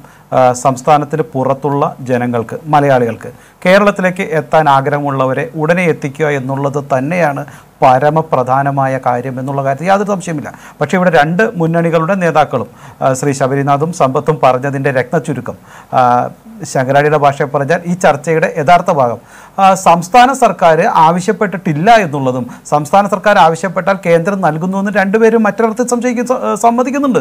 അപ്പോൾ ഇവിടെ സംസ്ഥാനത്തിന് ചെയ്യാവുന്ന രണ്ട് കാര്യങ്ങൾ അതായത് സംസ്ഥാനം ഇതുവരെ കേരളത്തിന് പുറത്തുള്ള മലയാളികളെ കേരളത്തിലേക്ക് കൊണ്ടുവരുവാൻ ആവശ്യപ്പെട്ടിട്ടില്ല എന്നും അല്ലെങ്കിൽ അഥവാ ആവശ്യപ്പെട്ടിട്ടുണ്ടെങ്കിൽ തന്നെ ഇദ്ദേഹം പറഞ്ഞതുപോലെ രാജസ്ഥാനും പശ്ചിമ ബംഗാളും മഹാരാഷ്ട്രയും ഡൽഹിയും അടക്കമുള്ള ബി ജെ പി അല്ലാത്ത സർക്കാരുകളുടെ മുഖ്യമന്ത്രിമാർ അതിൽ സഹകരിച്ചിട്ടില്ല എന്നാണ് മറ്റൊരർത്ഥം. രണ്ട് സംസ്ഥാന സർക്കാർ ഞാൻ നിരന്തരം പറയുന്നത് ഇതൊന്നും ആവശ്യമില്ലല്ലോ. സംസ്ഥാനത്തെ തൊട്ടടുത്തുള്ള ബസ്സിൽ വരാൻ സാധ്യതയും മാത്രം അവകാശമുള്ള സ്ഥലത്തുനിന്ന് എത്തിക്കുവാനുള്ള ശ്രമവും നടത്തിയിട്ടില്ല എന്നുള്ളതും ഈ സംസ്ഥാന സർക്കാരിന്റെ കുറ്റകരമായ മൗനമായി ജനങ്ങൾ കണക്കാക്കും. അതുകൊണ്ട് തന്നെ സംസ്ഥാന സർക്കാർ മറ്റു പല കാര്യത്തിലും മാതൃകയായിട്ടുണ്ട് എന്ന് സമ്മതിക്കാമെങ്കിൽ പോലും ഈ കാര്യത്തിൽ സംസ്ഥാന സർക്കാർ കുറ്റകരമായ മൗനം പാലിച്ചു.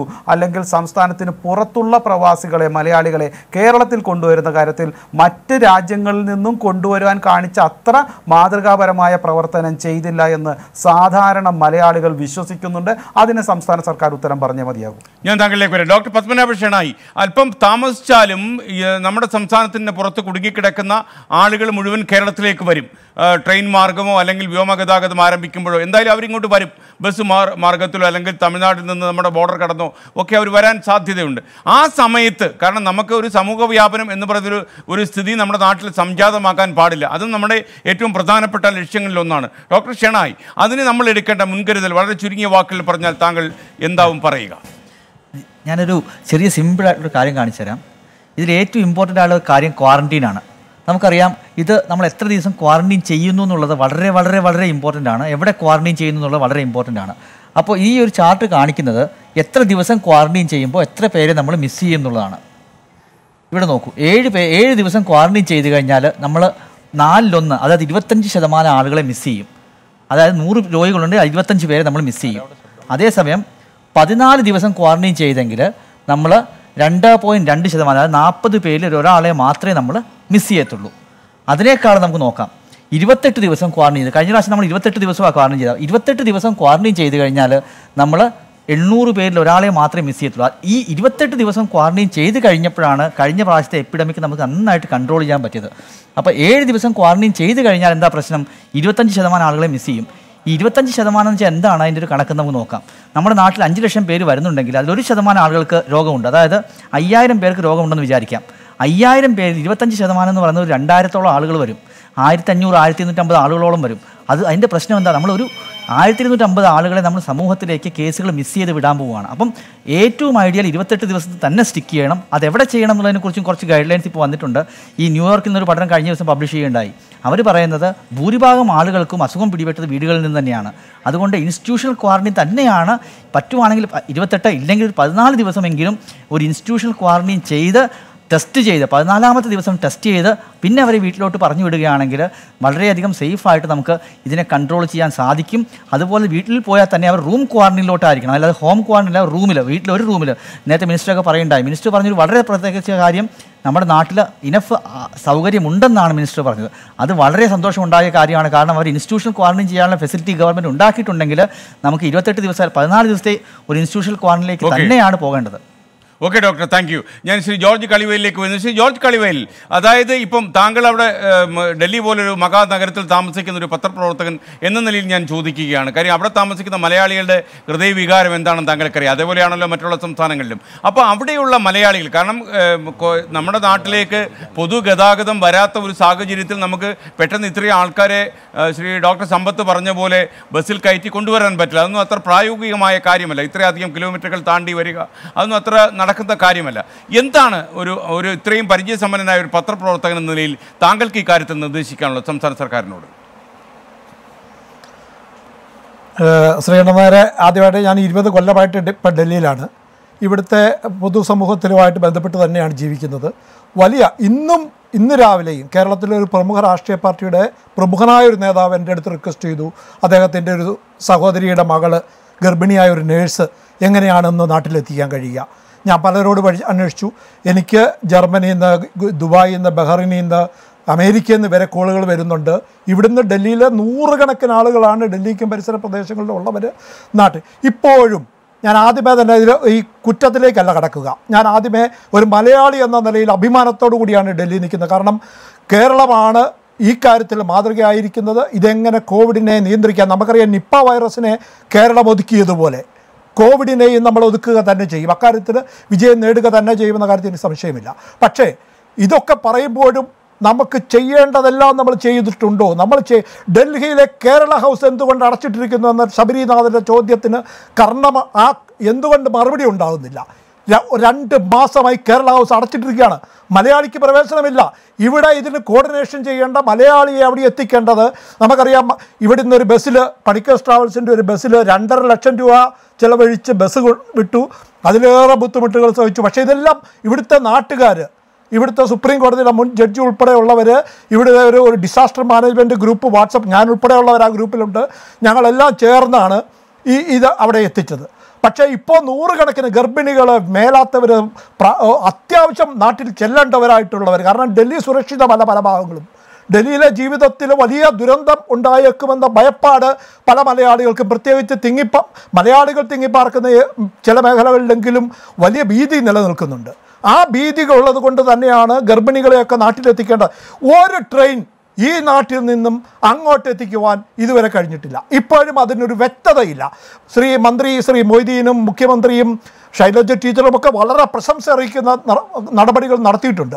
പക്ഷേ ഇക്കാര്യത്തിൽ അവരുടെ കയ്യിൽ നിന്ന് സമ്പത്തിന്റെ കയ്യിൽ നിന്നോ മൊയ്തീന്റെ കയ്യിൽ നിന്നോ ഒരു വ്യക്തത ഉണ്ടായിട്ടില്ല. എന്ന് പോകും എപ്പോൾ പോകും?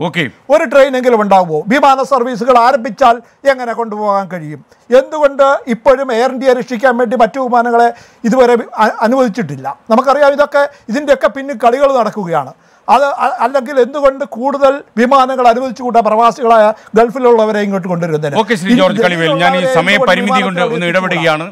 Okay thank you thank you താങ്കളുടെ ഇൻഫർമേഷൻ തീർച്ചയായിട്ടും നമുക്ക് ഈ ചർച്ചയുടെ അവസാന ഘട്ടത്തിലേക്ക് വളരെ കുറച്ച് മിനിറ്റുകൾ മാത്രമേ നമുക്ക് ബാക്കിയുള്ളൂ. അതിനു മുമ്പ് ഞാൻ മിനിസ്റ്ററോട് വളരെ ചുരുങ്ങിയ വാക്കുകളിൽ മറുപടിക്ക് വേണ്ടി പോവുകയാണ്. ഒരു ഇടവേള കൂടി എടുക്കാൻ നമുക്ക് സമയം വേണം. എന്നാൽ ഞാൻ മിനിസ്റ്ററോട് ചോദിക്കുകയാണ്. അങ്ങ് അങ്ങും സംസ്ഥാന സർക്കാരും ചെയ്യുന്ന നല്ല കാര്യങ്ങളൊക്കെ അംഗീകരിച്ചുകൊണ്ട് തന്നെ പത്ത മുതിർന്ന പത്രപ്രവർത്തകനായ ശ്രീ ജോർജ് കളിവേലിൽ ചോദിച്ച ചോദ്യം അങ്ങ് ശ്രദ്ധിച്ചിട്ടുണ്ടാവുമല്ലോ. എന്തുകൊണ്ടാണ് ഇക്കാര്യത്തിൽ നമുക്ക് വളരെ നിശ്ചിതമായ ഒരു നിലപാട് പറയാൻ പറ്റാത്തത്? ഇത് ശ്രീ കള്ളിവയൽ പറഞ്ഞ ഉത്കണ്ഠയൊക്കെ എല്ലാ മലയാളികളുടെയും മനസ്സിലുള്ളതാണ്. നമ്മൾക്കെല്ലാം കൂട്ടായി പങ്കുവയ്ക്കുന്ന വേദനയാണത്. ഞാൻ പറഞ്ഞല്ലോ അതിന് വലിയ ശ്രമം ആദ്യമായി നോൺ സ്റ്റോപ്പ് ട്രെയിൻ വേണമെന്ന് കേന്ദ്ര ഗവൺമെന്റിനോട് ആവശ്യപ്പെട്ട ഈ സംസ്ഥാന ഗവൺമെന്റാണ് അതുവഴിയാണ് കുറേ അകലെയുള്ള ആളുകളെ കൊണ്ടുവരാൻ കഴിയൂ. ബസ്സിന് എത്ര ദിവസം എടുത്താണ്? ഇവരെ ഏതൊക്കെ സ്ഥലത്തിറങ്ങണം? ഇവരുടെ ഭക്ഷണത്തിന്റെ കാര്യം പ്രാഥമിക ആവശ്യത്തിന്റെ കാര്യം. ആ കാര്യത്തിൽ ഈ പൂച്ച ഈ എലിയെ പിടിക്കണമെങ്കിൽ കേന്ദ്ര ഗവൺമെന്റ് കൂടി സഹായം വേണം. ഞങ്ങളത് ആവശ്യപ്പെട്ടിട്ടുണ്ട്. ഇത് ഗവൺമെന്റ് തമ്മിലുള്ള വ്യത്യസ്തതയുടെ പ്രശ്നമല്ലല്ലോ. നമ്മുടെ സംസ്ഥാനത്തേക്ക് വരേണ്ട മലയാളികളെ കൊണ്ടുവരാൻ വേണ്ടി കേരളത്തിന്റെ മുഖ്യമന്ത്രി വളരെ നേരത്തെ തന്നെ ഈ ആവശ്യം കേന്ദ്ര ഗവൺമെന്റ് മുമ്പിൽ ആദ്യം ഒരുപക്ഷെ ഉന്നയിച്ച മുഖ്യമന്ത്രി കേരളത്തിന്റെ മുഖ്യമന്ത്രി ശ്രീ പിണറായി വിജയന. വിവിധ സംസ്ഥാനങ്ങളിൽ നിന്ന് നോൺ സ്റ്റോപ്പ് ട്രെയിനുകൾ ആരം തരണം മലയാളികൾ ഉൾപ്പെടെ കൊണ്ടുവരാൻ. നിരവധി വട്ടം ഈ കാര്യം ആവശ്യപ്പെട്ടിട്ടുണ്ട് ഗവൺമെന്റ് തലത്തിലും ആവശ്യപ്പെട്ടിട്ടുണ്ട്. ഞാനത് ഏതെങ്കിലും അർത്ഥത്തിൽ കേന്ദ്ര ഗവൺമെന്റ് കുറ്റപ്പെടുത്താൻ വേണ്ടി പറയുന്നൊന്നുമല്ല. അപ്പൊ ആ കാര്യത്തിൽ കേന്ദ്ര ഗവൺമെന്റ് അനുകൂലമായ സമീപനം ഉണ്ടാകണം. വിവിധ സംസ്ഥാനങ്ങളിൽ നിന്ന് ഈ ആളുകൾ എത്തിക്കാൻ. ഡൽഹിയിൽ നിന്നാണ് പുറപ്പെടുന്നതെങ്കിൽ ഹിമാചൽ പ്രദേശിൽ നിന്ന് എത്തിക്കാൻ പഞ്ചാബിൽ നിന്ന് എത്തിക്കാൻ ഡൽഹിയിലേക്ക് എത്തിക്കാൻ ഇത്തരം മുഖ്യമന്ത്രിമാരുടെ സഹായം വേണം. അതിൽ എവിടെയെങ്കിലും വീഴ്ച വന്നോ? ഞാൻ പറയുന്നത് ഇത്തരം കാര്യത്തിൽ കേരളത്തിന്റെ മുഖ്യമന്ത്രി കാണിച്ച ഒരു മികവുണ്ട് ഭരണ രംഗത്തെ മികവ്. എല്ലാ മുഖ്യമന്ത്രിമാരുമായിട്ട് ഈ കാര്യത്തിൽ കേന്ദ്ര ഗവൺമെന്റുമായി സംസ്ഥാനത്തിന്റെ മറ്റു വിഷയങ്ങളോടൊപ്പം മലയാളികൾ അനുഭവിക്കുന്ന ഈ പ്രയാസങ്ങളെ കുറിച്ചുള്ള ഉത്കണ്ഠ അതാത് സംസ്ഥാനത്തെ ഭരണാധികാരികൾ അറിയിക്കാൻ ഒക്കെയുള്ള ശ്രമം ഉണ്ടായിട്ടുണ്ട്. അപ്പോൾ ഈ ട്രെയിൻ അനുവദിച്ചു കിട്ടുക എന്നുള്ളത് കേന്ദ്ര ഗവൺമെന്റ് കൂടി ശ്രീ ശിവശങ്കറിന്റെ സംസാരം രണ്ടാം വട്ടവും എനിക്ക് കേൾക്കാൻ കഴിഞ്ഞില്ല. തീർച്ചയായും പൂച്ച എലിയെ പിടിച്ചാൽ മതി എന്ന ശ്രീ എസ് കെയുടെ കമന്റിന് അദ്ദേഹം ഏറ്റെടുത്തായി ഞാൻ കണ്ടു. പക്ഷേ സാർ കേരളത്തിലെ ഈ ആവശ്യം നിർവഹിക്കാൻ അവരുടെ കൂടി ഇടപെടൽ ഉണ്ടാകണം അത്തരമൊരു സമീപനം കേന്ദ്ര റെയിൽവേ മന്ത്രാലയം സ്വീകരിച്ചാൽ നമുക്ക് എത്ര ട്രെയിൻ തരുന്നു? ആ മലയാളികളെ മുഴുവൻ സ്വീകരിക്കാൻ കേരളത്തിലെ ഗവൺമെന്റ് തയ്യാറാണ്. മറ്റ് സംസ്ഥാനങ്ങളിലെ മലയാളി സംഘടനകൾ ഈ കാര്യത്തിൽ കാണിക്കുന്ന എല്ലാ സഹായകരമായ നിലപാടും ഞങ്ങൾ വിലമതിക്കുന്നു.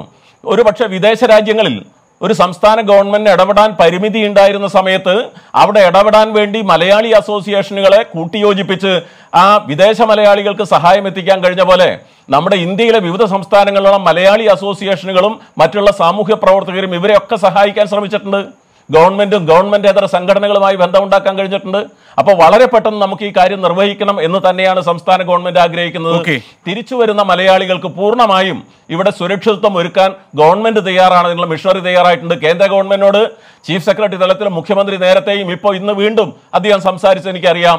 ഈ കാര്യം വളരെ വേഗത്തിൽ ട്രെയിൻ അനുവദിച്ചാൽ മലയാളികളായ നേരത്തെ ഉത്കണ്ഠ പ്രകടിപ്പിച്ച ശ്രീ കള്ളിവയലും നിരവധി മലയാളികളും മലയാളി സമൂഹമാകെ ഉത്കണ്ഠ പ്രകടിപ്പിച്ച ഈ കാര്യത്തിന് അടിയന്തര പരിഹാരം കാണാൻ ഗവൺമെന്റ് സദാ തയ്യാറാണ്. Okay minister. ഞാൻ എന്തായാലും ഞാനാണ് ഈ പൂച്ച എലിയെ പിടിക്കണം എന്ന് പറഞ്ഞത്.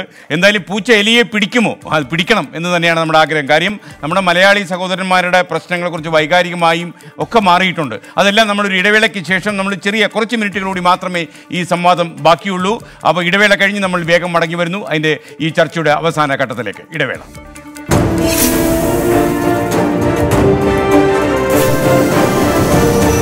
Stay tuned. With 24.